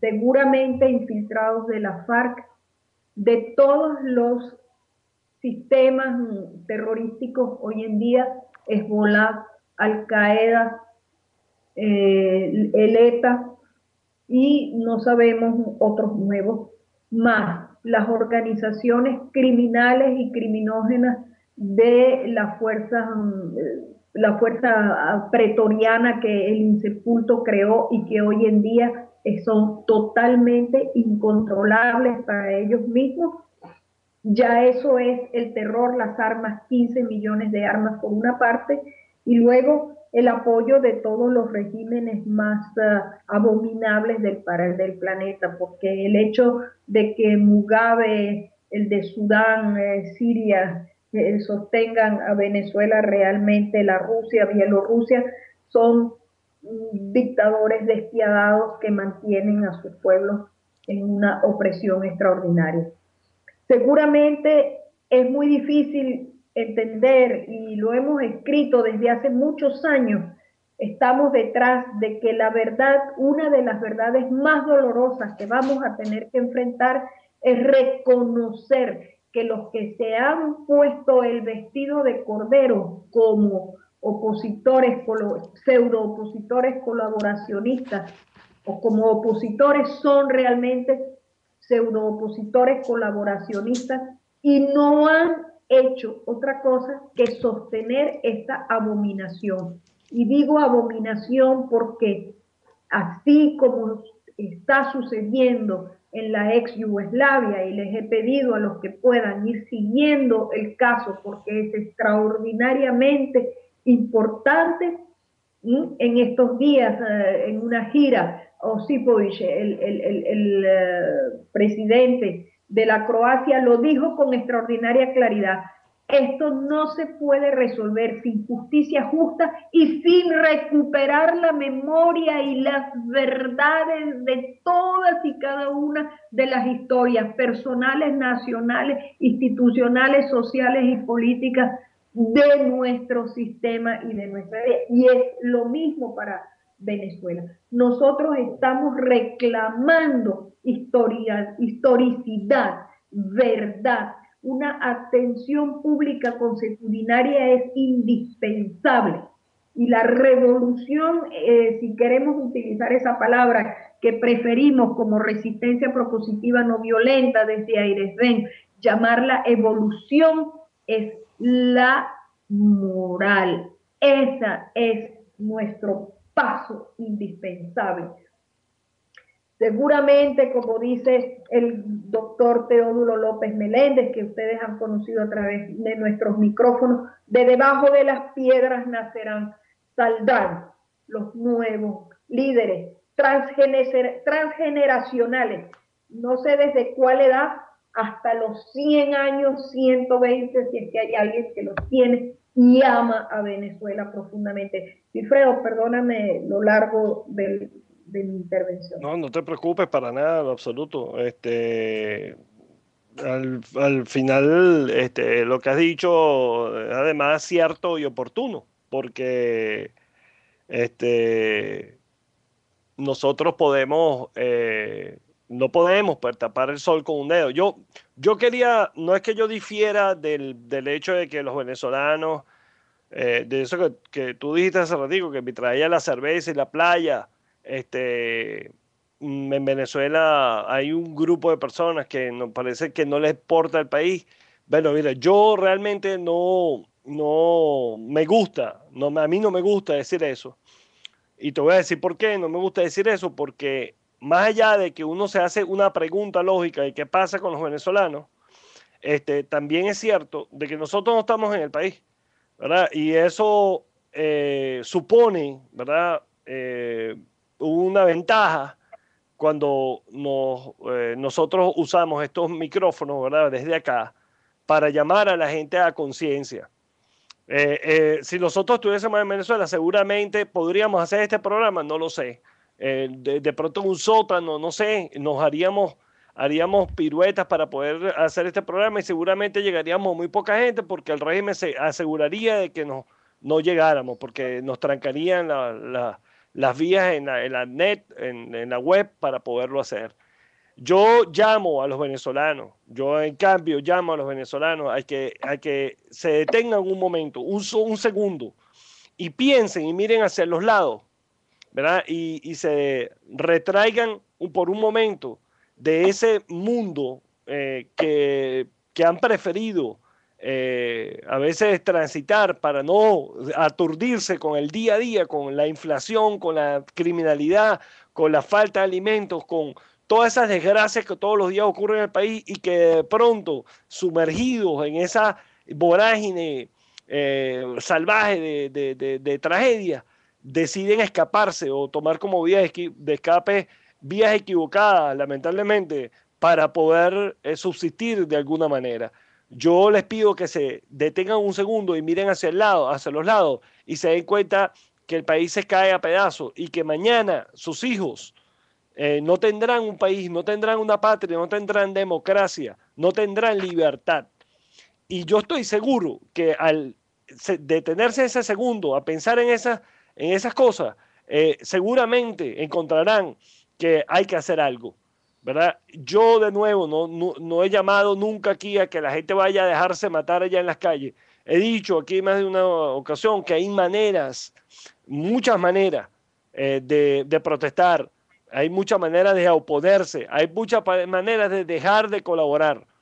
Eh, lo que hay es que tomar la decisión de hacerlo, eh, dejar de, de, solamente quejarse y hacer algo y empezar a, contribuir de alguna manera a organizarse en, su, en su cuadra, en su edificio, en su piso, mira, de cosas pequeñas, desde su piso, cómo organizar una protesta, cómo organizar... Eh, eh, manifestaciones que sumadas una con la otra, una con la otra, al final será la suma de muchísima gente, muchísimos millones de venezolanos que le pongan un parado a la dictadura y que nos ayuden a sacar a salir de este de este de esta desgracia. Por otra parte, la MUD eh, cuando tú decías que o, tú comentabas lo que dijo Ramayu, de pronto Ramayu tiene razón cuando dice que los va a desprestigiar, porque el prestigio que ellos tienen es de colaboracionistas. Entonces, si se ponen a protestar en contra del gobierno, van a perder, van a perder seguramente eh, eh, su fama y su prestigio de colaboradores. Entonces, si se ponen, ¿me entiendes? Entonces va a virtuar eh, la razón de ser de esos partidos políticos hoy en día. Y yo no estoy en contra de los partidos políticos, al contrario, yo soy de los que piensa que la, la, la, las razones fundacionales de un, una democracia pasan necesariamente por la eh, construcción de partidos políticos serios, eso sí, serios y comprometidos con la democracia blanca. Bueno, muchísimas gracias eh, Cifredo, por, por tus comentarios, porque seguramente eh, no podemos generalizar. Los que estamos afuera sufrimos enormemente, tenemos nuestra gente lejos, no sabemos si los podemos lograr. De hecho, tú lo dijiste al principio del programa, tu esposa no pudo llegar a, a, estar allí con su gente ante el sufrimiento de haber perdido un joven, una esperanza, un futuro de esa familia. Entonces, no es em, justo pues meternos todos en un mismo saco y estoy muy de acuerdo contigo. Ahora, eh, por eso es que Leonardo Ramos Ayuso es un representante, un modelo perfecto de lo que nosotros hemos estado eh, hablando como términos políticos, un lenguaje nuevo, un lenguaje que tenemos que diferenciarnos totalmente del que usan ellos y hablamos de partidocracia antidemocrática. Esa es la razón y tienes todo el análisis, es perfecto. Ellos necesitan poder defender lo poquito que les queda y no se pueden desprestigiar. Ahora, fíjate, mm, de ahora en adelante a ese que llaman el ilegítimo, yo personalmente voy a utilizar la palabra irrito, porque desde el 10 de enero de 2013 la situación de Venezuela es absolutamente irritante. Ahora, además de que ninguno de los adultos que tienen hijos, vamos a hablar de los jóvenes, 65% de los fallecidos por armas, por homicidio, tienen, son varones y tienen de entre 18 y 35 años de edad. La población adulta que tiene hijos varones entre 18 y 35 años de edad, pues eh, estará temblando y por supuesto estará de rodillas pidiéndole a Dios que le devuelva a su hijo todos los días, que cierre la puerta y entre vivo, por una parte. Por la otra, los demás, hijas hembras o hijos varones de otras edades que no entran en esta estadística negra, tan dolorosa, monstruosa, eh, abominable, bien señores, pero qué calidad de educación en un mundo que va hacia una globalización y hacia un mundo del conocimiento. Eh, quiere decir que los hijos de los venezolanos serán pues entonces los destinados a, bueno, no sé, será limpiar zapatos del resto de la humanidad, porque la calidad de educación, la calidad de salud, la posibilidad de asociacionismo y eh, en términos de libertad de expresión, pensamiento crítico, no están siendo atendidos por ese desgobierno. La invitación que hace Silfredo como propuesta, propuesta como resistencia propositiva no violenta, mire, reúnase en su piso. Si no puede hablar de política, eh, perfectamente bien, pero un cuarto de hora de oración en el pasillo sin necesidad de que usted meta gente extraña en su casa. Pudiera ser una vez a la semana. Hemos invitado al saludo de la B de Venezuela y libre, Venezuela libre. Eh, sentarse, hemos dicho, como hicieron los turcos en Plaza Taksim, etcétera. La nueva Venezuela nació el 8 de octubre, esos partidos políticos se están creando, algunos se han creado, allí está Marco Polecer con su movimiento, eh, movimiento eh, liberal democrático de derecha, etcétera, porque esta MUD definida, definición, MUD igual, propiedad de los medios radioeléctricos, nada más que ellos los únicos visibles, igual poder inepto. Al menos les dejo esa reflexión, Silfredo. Les recuerdo que nos pueden llamar desde Venezuela a una llamada local al 0212-210-5087, al 0212-210-5087 y o desde los Estados Unidos al 1786 467 8213 al 1786 467 8213. Bueno, Blanca, eh, definitivamente eh, eh, es, bastante lamentable ver cómo en el país este, estamos viviendo esta situación tan, tan dolorosa y tan difícil. Y nos sentimos de alguna manera desamparados porque organismos, organizaciones que deberían servir para la lucha de, por la libertad y la democracia de nuestro país, hoy eh, de alguna manera se sientan al lado o se paran al lado de, un régimen que eh, ha perdido toda legitimidad. Y yo llamo ilegítimo porque eh, realmente lo es, desde, desde su principio. desde que el Insepulto nos anunció su viaje a Cuba, eh, para su última operación, eh, no volvimos a saber de él y se nos dijo de, mil maneras que eh, estaba bien, que estaba chévere, que se reunía, que hizo reuniones, que daba pautas de trabajo, etcétera, etcétera.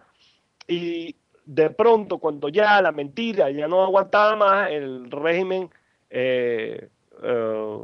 dirigido ilegal, ilegalmente en ese instante, ¿verdad? Eh, ilegítimamente por Maduro, ¿verdad? Este, nos dijo que había muerto. Eh, hemos vivido en, este, en estas etapas, en estos últimos seis meses, en estos últimos cuatro o cinco meses, eh, de, una, situación de, ilegalidad y no hemos visto eh, contundentes acciones para revertir esa lamentable situación que hoy este, nos afecta de manera significativa a todos los venezolanos y nos impide de alguna manera eh, seguir eh, contando con elementos organizados para eh, luchar contra el oprobio que significa tener un régimen de las características que hay en Venezuela y que la ingobernabilidad en el país es notable.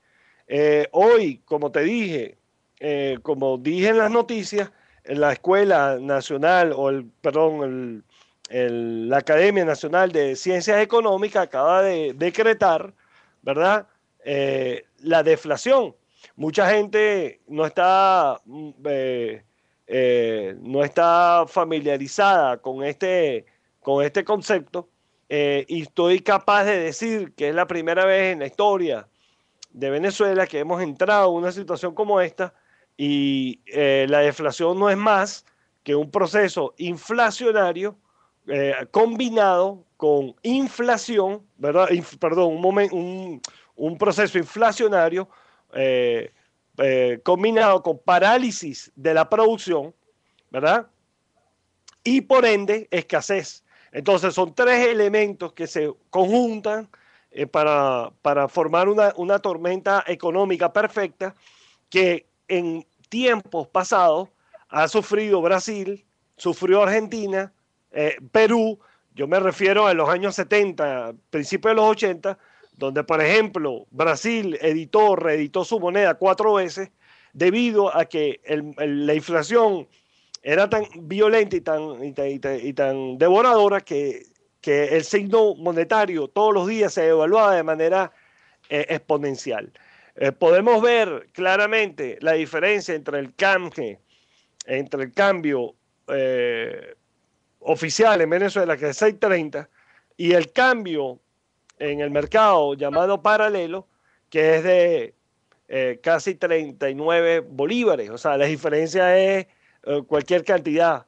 Yo no sé exactamente ahorita la, diferencia porcentual, pero es una cosa grosera, contando que el régimen venezolano ha tenido eh, en sus manos recursos superiores a mil, a 1.5 billones de dólares en un país de 23 millones de habitantes, cuando usted saca la cuenta de cuántos dólares le tocaría a cada persona, usted se da fácilmente cuenta que ha habido una, de la, una, una un, se ha delapidado de manera este, eh, criminal los recursos del Estado para tener como consecuencia un Estado o un país en las condiciones deplorables donde ni siquiera hoy hablé con mi familia y estaban tomando café sin azúcar porque no hay azúcar.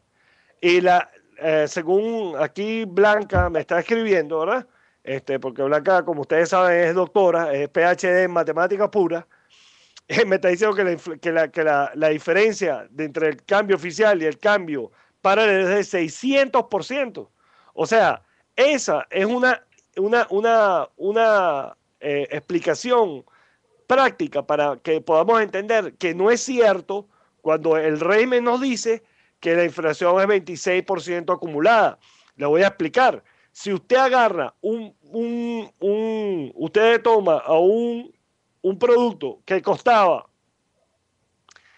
eh, hace 10 años, o hace 5 años, eh, eh, digamos, 6, ah, usted lo había comprado 6.5 bolívares, que era el cambio, que, que era el, el cambio paralelo. En, hace 10 años era como 4.5, algo así, el cambio, eh, el cambio paralelo, ¿no? Si usted agarra y calcula esa misma, ese mismo bien que ahora usted tiene que comprarlo a dólares a 39%, bueno, la inflación eh, inevitablemente será de 600%. O sea, que usted se puede imaginar por allí nada más el la debacle económica que estamos sufriendo en Venezuela. Tenemos una llamada telefónica, déjame atenderle en este instante. Bienvenido a Camino de Libertad, estás al aire. Buenos días. Buenas noches, perdón. Estoy oyendo lo de la inflación y lo de lo que no se consigue comida aquí en Venezuela. Y, y de verdad que, que, que resulta gracioso en el sentido de que, de que las comparaciones. Yo soy fanática del helado de café. El sábado por fin apareció en Venezuela, en todo el año apareció el helado de café ese. Lo compré en 40 bolívares el sábado. Hoy fui a comprar helado de café y está a 65 bolívares en menos de una semana. ¿En cuánto? Amén de que no se... 65 65. bolívares en menos de una semana. Del sábado costaba 40, hoy costó 65, el mismo pote de helado. No se consigue leche. Por lo menos yo no uso leche en polvo, uso leche pasteurizada, leche de larga duración. Bueno, que sanquear todos los automercados de la ciudad para ver en dónde se consigue la leche. Y ciertamente, como que no nos damos cuenta de que vamos no solamente hacia la hacia la libreta, porque estamos más modernos, no, sino el chip alimentario y la cosa, sino que vamos rumbo realmente a no conseguir absolutamente nada en este país. De verdad que es lamentable. Feliz noche. Bueno, lo que nos acaba de decir, no, no, no, no anoté el nombre de la señora. ¿Cómo se llama la señora Blanca?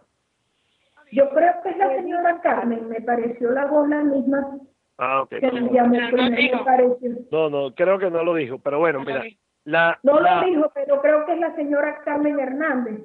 ah, ok. La diferencia entre, entre la diferencia inflacionaria que, que sufrió ese solo producto en una en unos días fue de 61 coma 15%. Usted, en un rubro, en un. Entonces, ustedes van a ver cómo esta situación de deflación en Venezuela va a acabar eh, convirtiéndose en una bomba nuclear, porque inevitablemente, ¿verdad? La población venezolana va a haber traducido, ¿verdad? Su dinero o el, su salario en nada, en agua.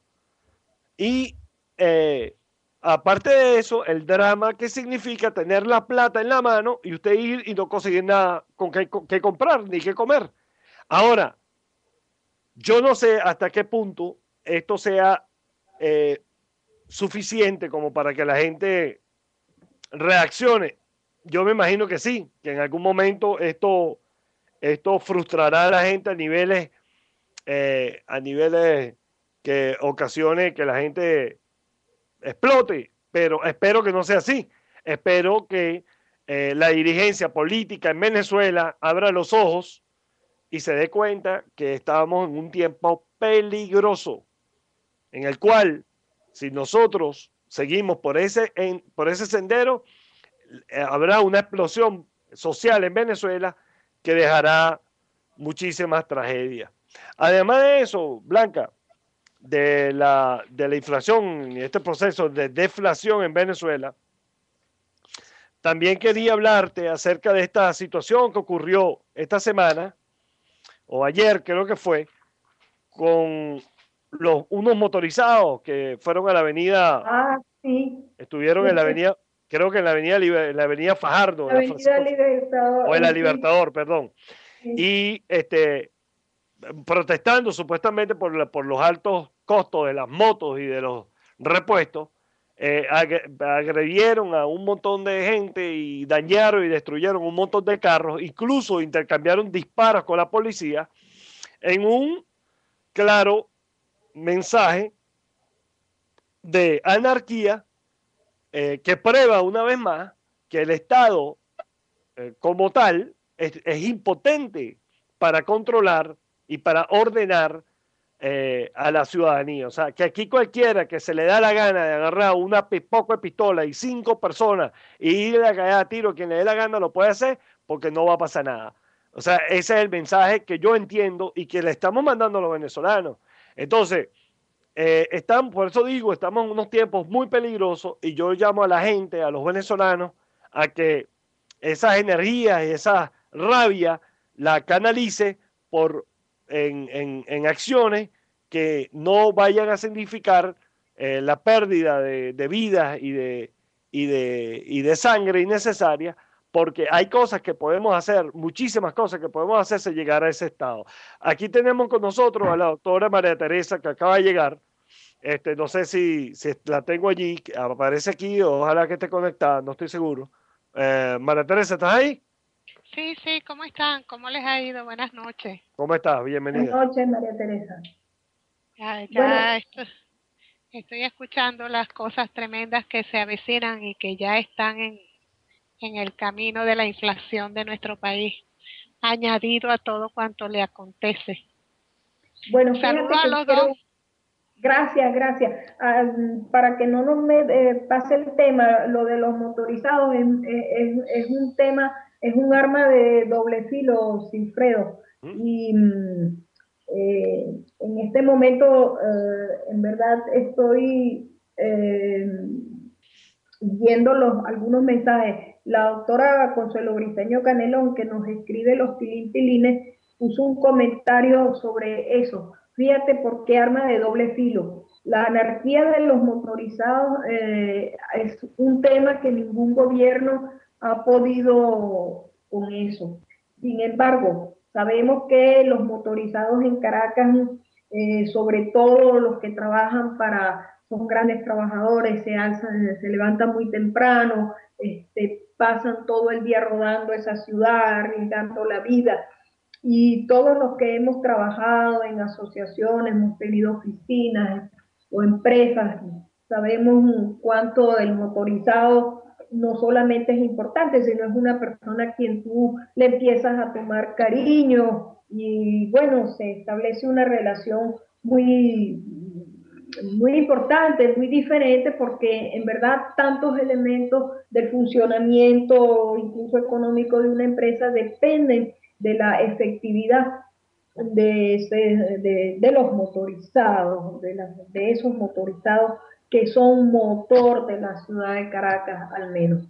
Sin embargo, en los otros motorizados, esos que armó el gobierno, esos que les puso pistolas en mano con franelas de un particular color, etcétera, eh, domesticados a la violencia, eh, sacados de sus lugares de trabajo, de sus puestos en donde ellos elaboraban, profundizaban y se incrementaba la propia dignidad, la propia familia, ser padres, etcétera, pues esos se van en desbandada y son verdaderamente un grupo anárquico y ni siquiera la misma policía o el mismo desgobierno puede ya controlarlo. Y están exigiendo, porque ellos aprendieron una, una politiquería.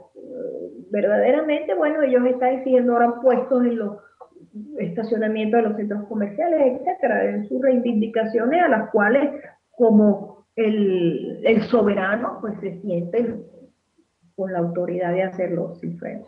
Lo que pasa es que estás hablando de un periodo de nuestra historia de, de una economía organizada, donde el motorizado pasaba a ser parte de nómina y de la parte más importante de una, ciertamente del desarrollo de una empresa.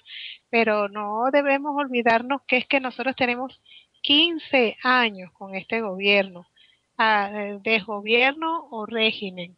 La gente se queja y se olvida de que es este régimen el que ha proporcionado las condiciones que tenemos en todos los sentidos, sean los motorizados, como sea las inflaciones, como sea la imposibilidad de viajar, porque ahora inclusive van a anular los pasaportes para poder pedir más permisos para no poder salir.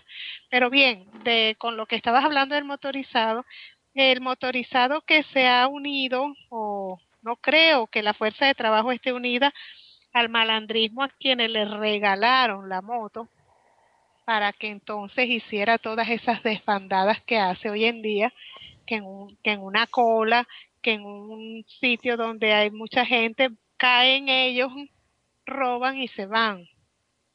Y, te, y, me parece muy loable de tu parte, doctora Briceño, que hayas dignificado a ese motorizado trabajador a ese motorizado trabajador que deberá estarse dando cuenta que estos 15 años le han quitado la posibilidad de la dignidad que tenía como empleado. Ciertamente tenemos que comenzar a hablar más claro cada día de que el régimen no ha tenido otra comparativa.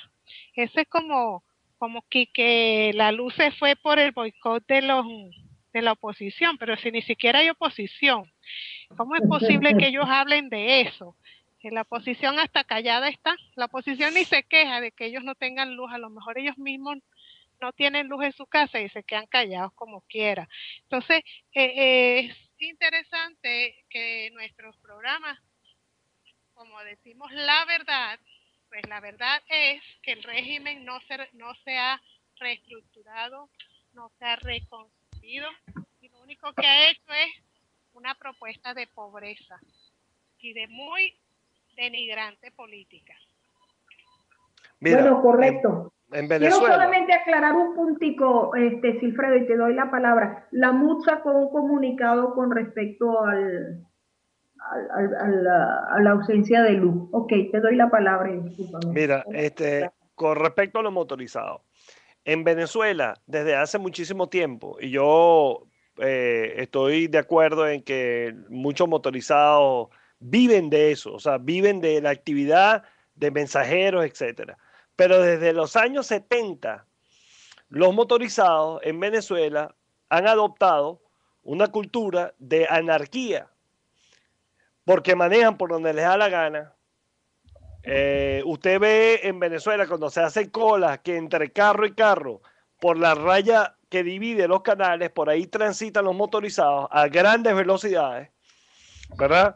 Eh, patean a los carros, porque si usted está muy pegado a esa raya, que a la cual ellos llaman el canal del motorizado, o sea, ellos tienen un canal de circulación, según ellos, que es ese canal contraviniendo cualquier ley de tránsito vigente en Venezuela. Si usted está muy pegado de allí, ellos muy bien, muy fácilmente le patean el carro, le abollan el carro, y como van en su moto y usted está en una cola, no hay forma de, detenerlos ni de nada. Si por mala suerte usted eh, empieza a mover su carro y en el pasar de esas motos por entre carro y carro ocurre que uno de esos motorizados por desgracia, se estrelle contra usted, en un instante aparece un enjambre de motorizados que seguramente le destruirán su carro, le caerán a golpe y cuidado si no lo matan.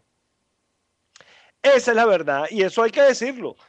Ahora, esa subcultura, el gobierno la ha eh, exponenciado un millón de veces. ¿Con qué objeto? Con el objeto de malandrizar a los motorizados ¿verdad? Y tener eh, en, de alguna manera un ejército eh, leal que pueda acometer todo tipo de abuso que, muchísimos venezolanos hemos tenido que sufrir. Yo lo voy a, relatar brevemente, a, mí personalmente, yo fui la última vez a Venezuela en el año 2010.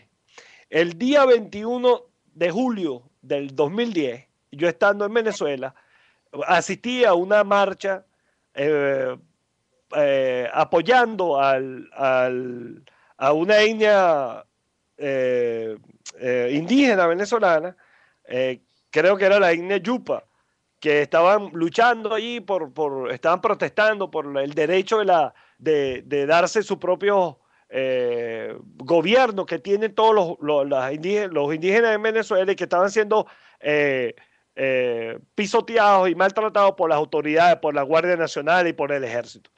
Eh, la gente de Provea, que conozco a algunos de ellos, me invitaron y yo fui a la marcha con, acompañado de unos amigos, unos familiares. En medio de la marcha, cuando la, perdón, en medio de la manifestación, porque era una marcha y una manifestación al final, estábamos allí eh, pacíficamente eh, frente a un piquete de la Guardia Nacional, ¿verdad? Protegiendo el TCJ, como que si los, los que estábamos allí íbamos a quemar el TCJ. Apareció aquí un enjambre de, de motorizados con pistolas, accionando las pistolas, pop, pop, pop, tiros al aire, ¿verdad? Para aterrorizar a todo el mundo ahí. Y policías sentados en, sentados en la parte trasera de alguna de esas motos con cámaras filmando a todo el mundo que estaba allí. O sea, han transformado a los, a los, a los, a los motorizados en delincuentes y en un ejército eh, montado a favor de ese régimen que lo único que persigue es la anarquía, porque en la filosofía torcida de Río Revuelto, pesca el más vivo, ellos están saliendo ganando, o ellos están ganando en esa ecuación perniciosa y viciosa en la cual han convertido especialmente en la ciudad de Caracas. Blanca. Bueno, eh, realmente, mm, digamos, el tema es importante como dijo la licenciada María Teresa Arias, realmente que era eh, la dignidad del trabajo y un personaje de toda la estructura económica de la ciudad a la cual estos señores, como a tantas otras cosas, compraron y robaron eh, la dignidad, eh, la dignidad en realidad. Ahora, em, justamente motorizados mataron a Lina Ron, motorizados han matado a mucha gente, ellos salen armados, recuerda aquellos de la piedrita que salieron a, pegar unos tiros delante de Globovisión, etcétera. Y bueno, en realidad es muy triste el tema. Quería aclarar que dije lo de la MUD con respecto al, al comunicado que sacaron, porque los mismos empleados de distintas compañías eléctricas aseveraron que eh, la falla se debía a falta de manutención.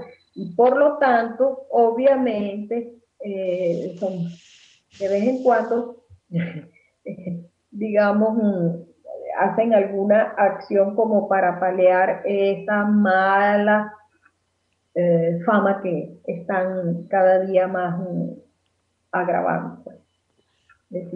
Bueno, con el tema de ese apagón, eh, hoy el Estado Mayor Eléctrico, una cosa que se inventaron ahí estos ladrones para seguirse robando los reales, para, eh, eh, ¿cómo se llama?, eh, congregarse en esa pandilla de ladrones y de choros que, que hoy en día dirigen los destinos del país, lamentablemente. El poco célebre Jesse Chacón acaba de decir que entre ellos y el SEBIN están conduciendo investigaciones porque ellos tienen serios indicios de que la oposición, ¿verdad? no, ellos no dicen cuál oposición, o sea, a qué sector de la oposición se, se refiere, están detrás del apagón general que dejó sin luz a gran parte del país el día de ayer, creo. De ayer, ¿verdad? Fue el día de ayer. De ayer, de ayer, de ayer. Ok, el día de ayer. Entonces, este, cuando todos los venezolanos, ¿verdad? Sabemos, porque es noticia populi, es no, no eh, post populi, el mismo Jesse Chacón dijo, el gobierno declaró una emergencia eléctrica, o sea, una emergencia eléctrica, ¿por qué? Porque el sistema eléctrico venezolano está en un estado de paupérrimo abandono, en el cual el mantenimiento que se le tenía que dar a esas redes eléctricas no se ha cometido y como consecuencia eh, tenemos el resultado de un país uh, que tiene más apagones hoy en día que Cuba. Mientras que este régimen se encarga de comprarle plantas eléctricas a Cuba, a Nicaragua, nosotros en Venezuela tenemos el drama de un país que, que produce, eh, que llegó a ser el tercer productor de petróleo del mundo y que ha recibido 1.5 billones de dólares por ingresos solo petroleros. Entonces tenemos un país que hay que alumbrarlo con vela, que la gente no tiene azúcar y que la gente no tiene vida porque el, país, el, régimen ilegítimo y malandro ese que está instalado ahí está empeñado ¿verdad? en destruir el país de la forma que puedan y que no van a descansar hasta lograrlo. Ya estamos a las puertas del el siglo XIX en Venezuela, ya no tenemos ni luz, ya no tenemos salud, no tenemos eh, la, ley de lo, la ley del más bravo de la que impera en Venezuela, o sea, estamos en, en en, los años de los caudillos, pues mejor dicho, y me imagino que irán a surgir señores feudales que irán a hacer los barrios y en las, y en las comunidades, en las comunas esas que ellos quieren crear, bueno, este, una especie de ley eh, del más bravo, que, con machetes y con, y con pistolas y la gente irá a arreglar los problemas así. O sea, eh, han destruido ese país de una manera indecible e inimaginable. Y, te digo que y te digo que me disculpen que insista, pero como nadie dice nada, como diríamos en el campo, como nadie dice nada y lo que dicen es simplemente oportuno para defenderse en salud, pues entonces el régimen sigue echándole palo al pobre pueblo porque no va a decir, no no tiene de dónde salir. No, María Eugenia, eh, perdón, María Teresa, cuando antes de llegar tú acá, nosotros hicimos un análisis exhaustivo. Sí, me lo explicó Blanca. De el, el, del asunto este de las declaraciones lamentables de, de Ramos Ayú con, con respecto a la nacionalidad colombiana de el, el poco célebre eh, platanote ese que tenemos ahí instalado ilegalmente en Venezuela. Ese señor que ha sido un, uno de los, de, los, de los mandatarios más nefastos que ha tenido Venezuela, no tiene seis meses en el cargo y ya ha hecho eh, cosas que los peores gobiernos de, la historia de Venezuela no habían hecho. Entonces, la MUD, en lugar de tomar esa tremenda oportunidad para afianzarse y para demostrarnos a nosotros que tienen buena fe para devolver a Venezuela a la libertad, entonces sale Ramos Ayub en nombre de la MUD diciendo que ese es un tema que hay que dejarlo de lado porque ya está desgastado y que además de eso representa una posibilidad de eh, desprestigio para la MUD. o sea, desprestigio para la MUD. La, Para la MUD desprestigiada. Sí, o sea, sí, no entiendo, no entiendo. Porque, no porque, porque ahora hablamos de la luz, pero y los niños pobres que nacen y los ponen en cajas de cartón y cajas de plástico sí. y todo eso porque no hay manera de que haya un suministro diferente. Es que hoy es la luz, pero es que han pasado muchas cosas en nuestro país que se hubiesen podido seguir manifestando sobre ellas, seguir hablando de eso y seguir haciendo exigencias de respuesta inmediata a resolver esas situaciones y sobre todo aclarar que son 15 años de un régimen que no ha provisto a Venezuela, la ha desprovisto, para ser más corta, en mi opinión. Bueno, este, fíjate que con respecto al tema de la luz, este, yo hice, tomé algunas, algunas notas, porque como estamos haciendo también historia, porque necesitamos una historicidad eh, verdadera, verídica, bueno, eh, hay que recordar que Edelca y las distintas empresas de electricidad tenían un excelente equipo profesional preparadísimo que por años había logrado hacer de esas empresas un ejemplo en el mundo. Y verdaderamente sus gerentes hoy son ejecutivos en, empresas eh, fuera de nuestras fronteras por una parte. Ahora fíjate históricamente, en 1999 se le presentó al Insepulto un informe que se llamaba Ley del Servicio Eléctrico. Entonces el señor Ali Rodríguez, que estaba al cargo del Ministerio de Energía y Petróleo, recibió un plan de expansión 1999-2013, o sea, al año en que estamos hoy en ese entonces, que tenía una visión de 10 a 15 años. Eso se quedó en el papel. Aprobaron una cuestión que llamaron la ley del servicio eléctrico. En 2001, los ministros de Cordiplan y Energía Eléctrica tenían eso en las manos. En el 2002, el Insepulto decreta la creación de la Comisión Presidencial para el Estudio, Evaluación, Aplicación y Seguimiento del cumplimiento de los planes de atención del riesgo, potencia de insuficiencia del suministro de energía eléctrica. Ese era el título. El vicepresidente era el de Deodado, eh, Deodado Pelo allí. En el 2005, Ramírez eh, toma el plan de desarrollo del sector eléctrico nacional en gaveta. O sea, señores, que no ha faltado cabeza en Venezuela democrática que se puso y le ofreció al país un plan.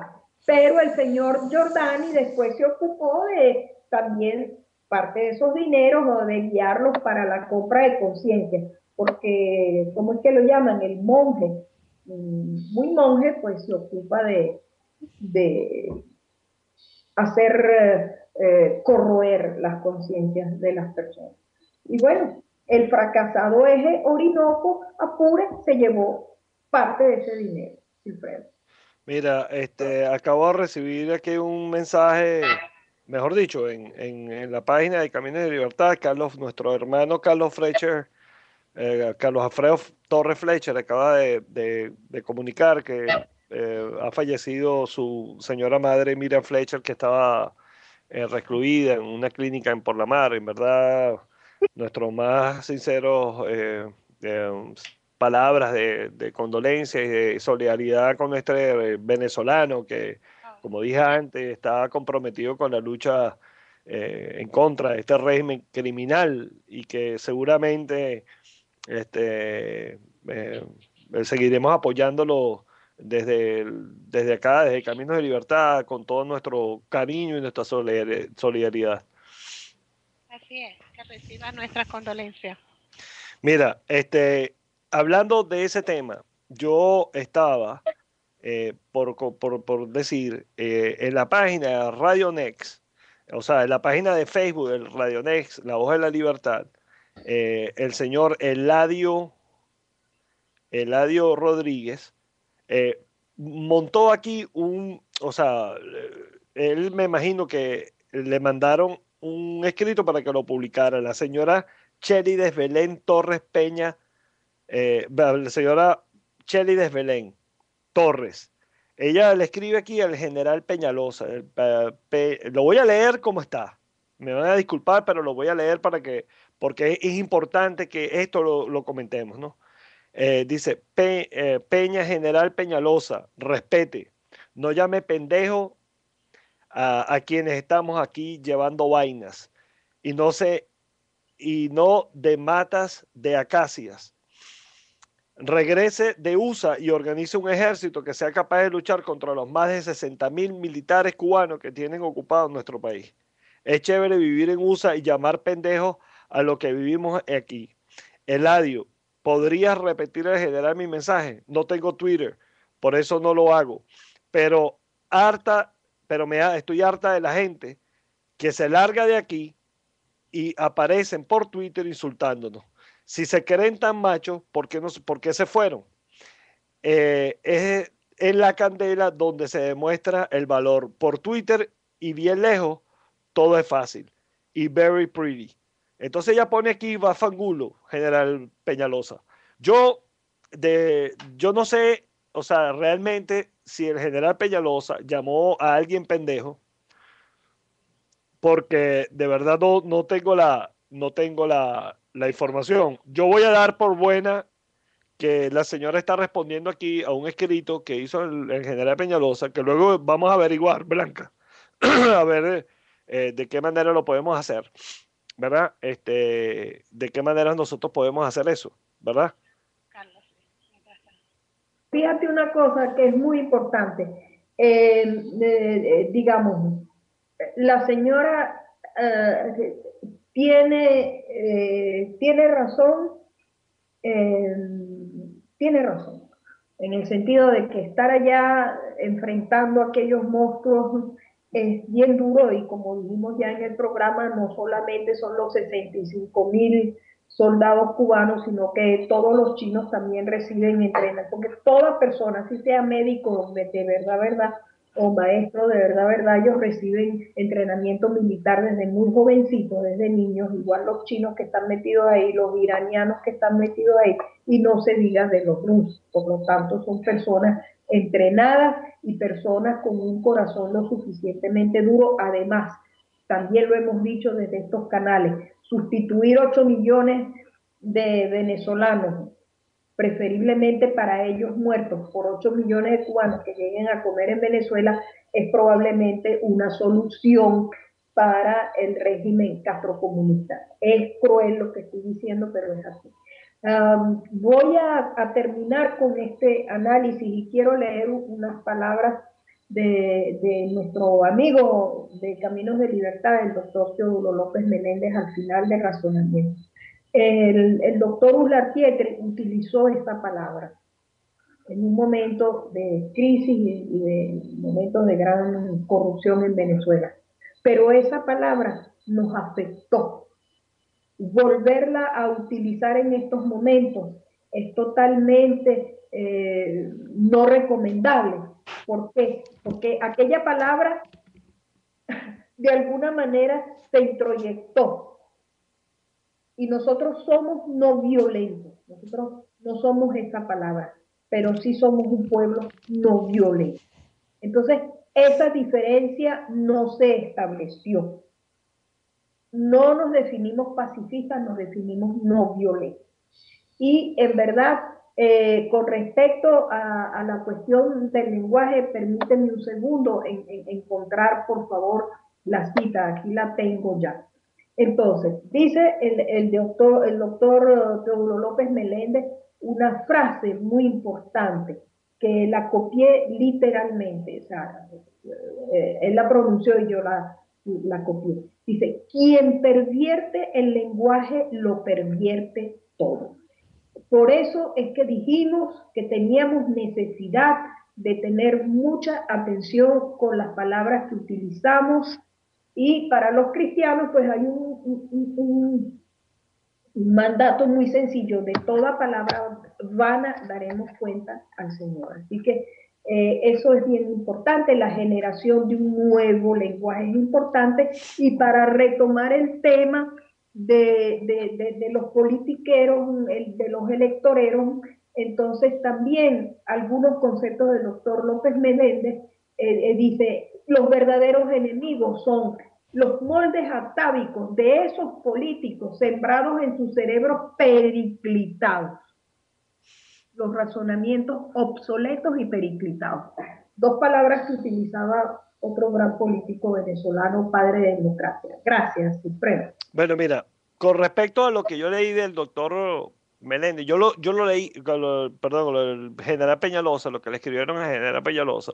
En primer lugar, no saludo para nada si eso ocurrió, porque no me parece respetable que, una, que, que tú llames a quien sea pendejo pero tampoco la manera en que la señora se refiere a él y a todos los que nos hemos ido de Venezuela, porque es injusto que cualquiera afirme que uno por estar aquí fuera de Venezuela hablando o escribiendo en Twitter o hablando por estos medios, tampoco es que es fácil. Porque tampoco es fácil que nosotros nos venimos para acá, dejamos nuestra familia, estamos viviendo en un estado eh, ajeno a nuestro país, donde no tenemos los mismos derechos, donde no tenemos un montón de cosas porque hemos dejado nuestro arraigo, nuestra familia, nuestro amor, nuestra libertad, todas las cosas que nosotros tenemos derecho como venezolanos, hemos renunciado a ellas, pero no por gusto. Yo le voy a decir a la señora, y yo nunca he hablado de este tema, pero lo voy a hablar, porque es justo que lo digamos, porque me pare, yo me siento afectado con, con esto que ha dicho esta señora acerca de que es cómodo estar aquí.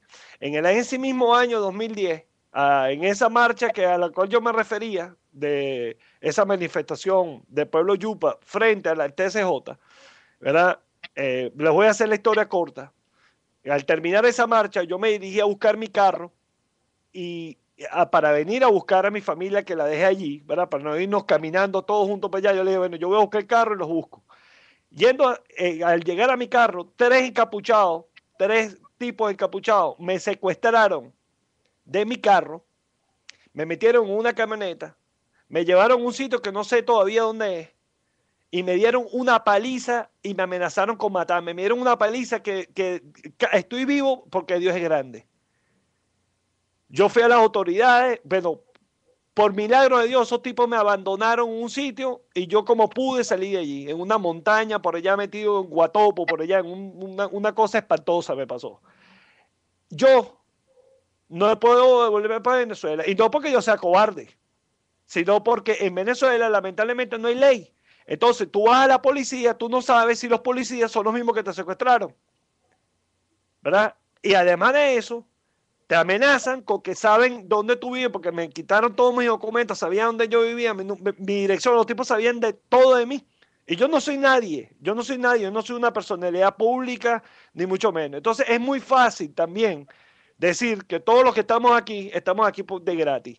Los, los venezolanos en su mayoría que están fuera del país, es porque han sufrido persecución política de algún tipo, han sido secuestrados, les han asesinado a su familia y se han tenido que ir.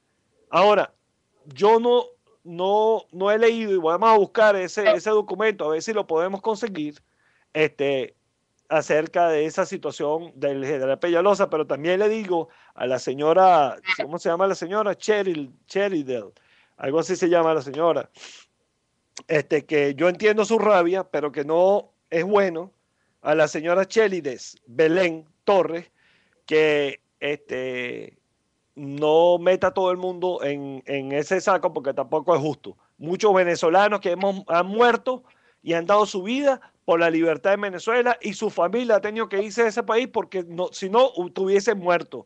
Y a mí me parece que un venezolano muerto es menos útil que un venezolano vivo en el exterior, luchando por la libertad de Venezuela. Amén, aleluya. aleluya. Yo, yo le quiero aclarar, también digo como tú, no es un tema que yo toque, pero realmente eh, yo puedo decir de mí misma eh, que soy una exiliada de la corrupción, porque eh, llegó un momento en que a mí me llamaban, y cuando decía mi nombre buscando trabajo, abriendo caminos para la actividad económica eh, con la que me sostenía, entonces eh, decía, ¿quién? Blanca Briceño. Ah, con ella ni para un café. E, e, ese era mi, mi nombre, Blanca Briceño, con ella ni para un café, la coletilla. Porque verdaderamente en ninguna circunstancia en ese pasado, pues siempre me ofrecían un bolívar menos, para no decirlo de otra manera. Bueno.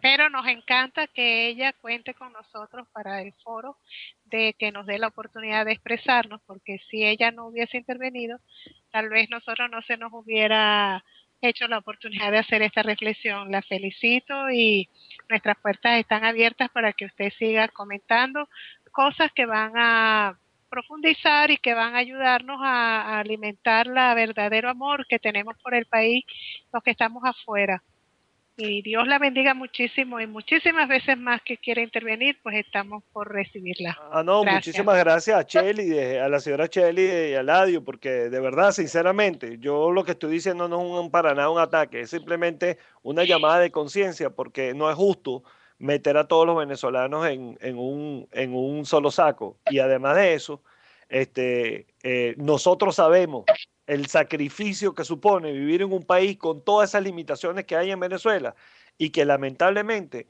eh, nosotros la sufrimos también porque, porque nos duele ver cómo nuestros hermanos están sufriendo de un régimen que este, acapara todos los poderes y que elimina cualquier, cualquier posibilidad de, de, de, eh, protesta. Eh, bueno, como el tiempo es eh, el tiempo ya son las ya son las nueve y, pasadas las nueve de la noche, ¿verdad? Nosotros eh, nos ha llegado el momento triste de despedirnos de ustedes. Este, sin antes de recordarles que eh, nos esperamos aquí el próximo jueves, si Dios quiere, en esta una nueva edición de Caminos de Libertad, donde estaremos seguramente diciendo la verdad. Porque solo la verdad y nada más que la verdad nos hará libres. Dios me los bendiga, cuídense.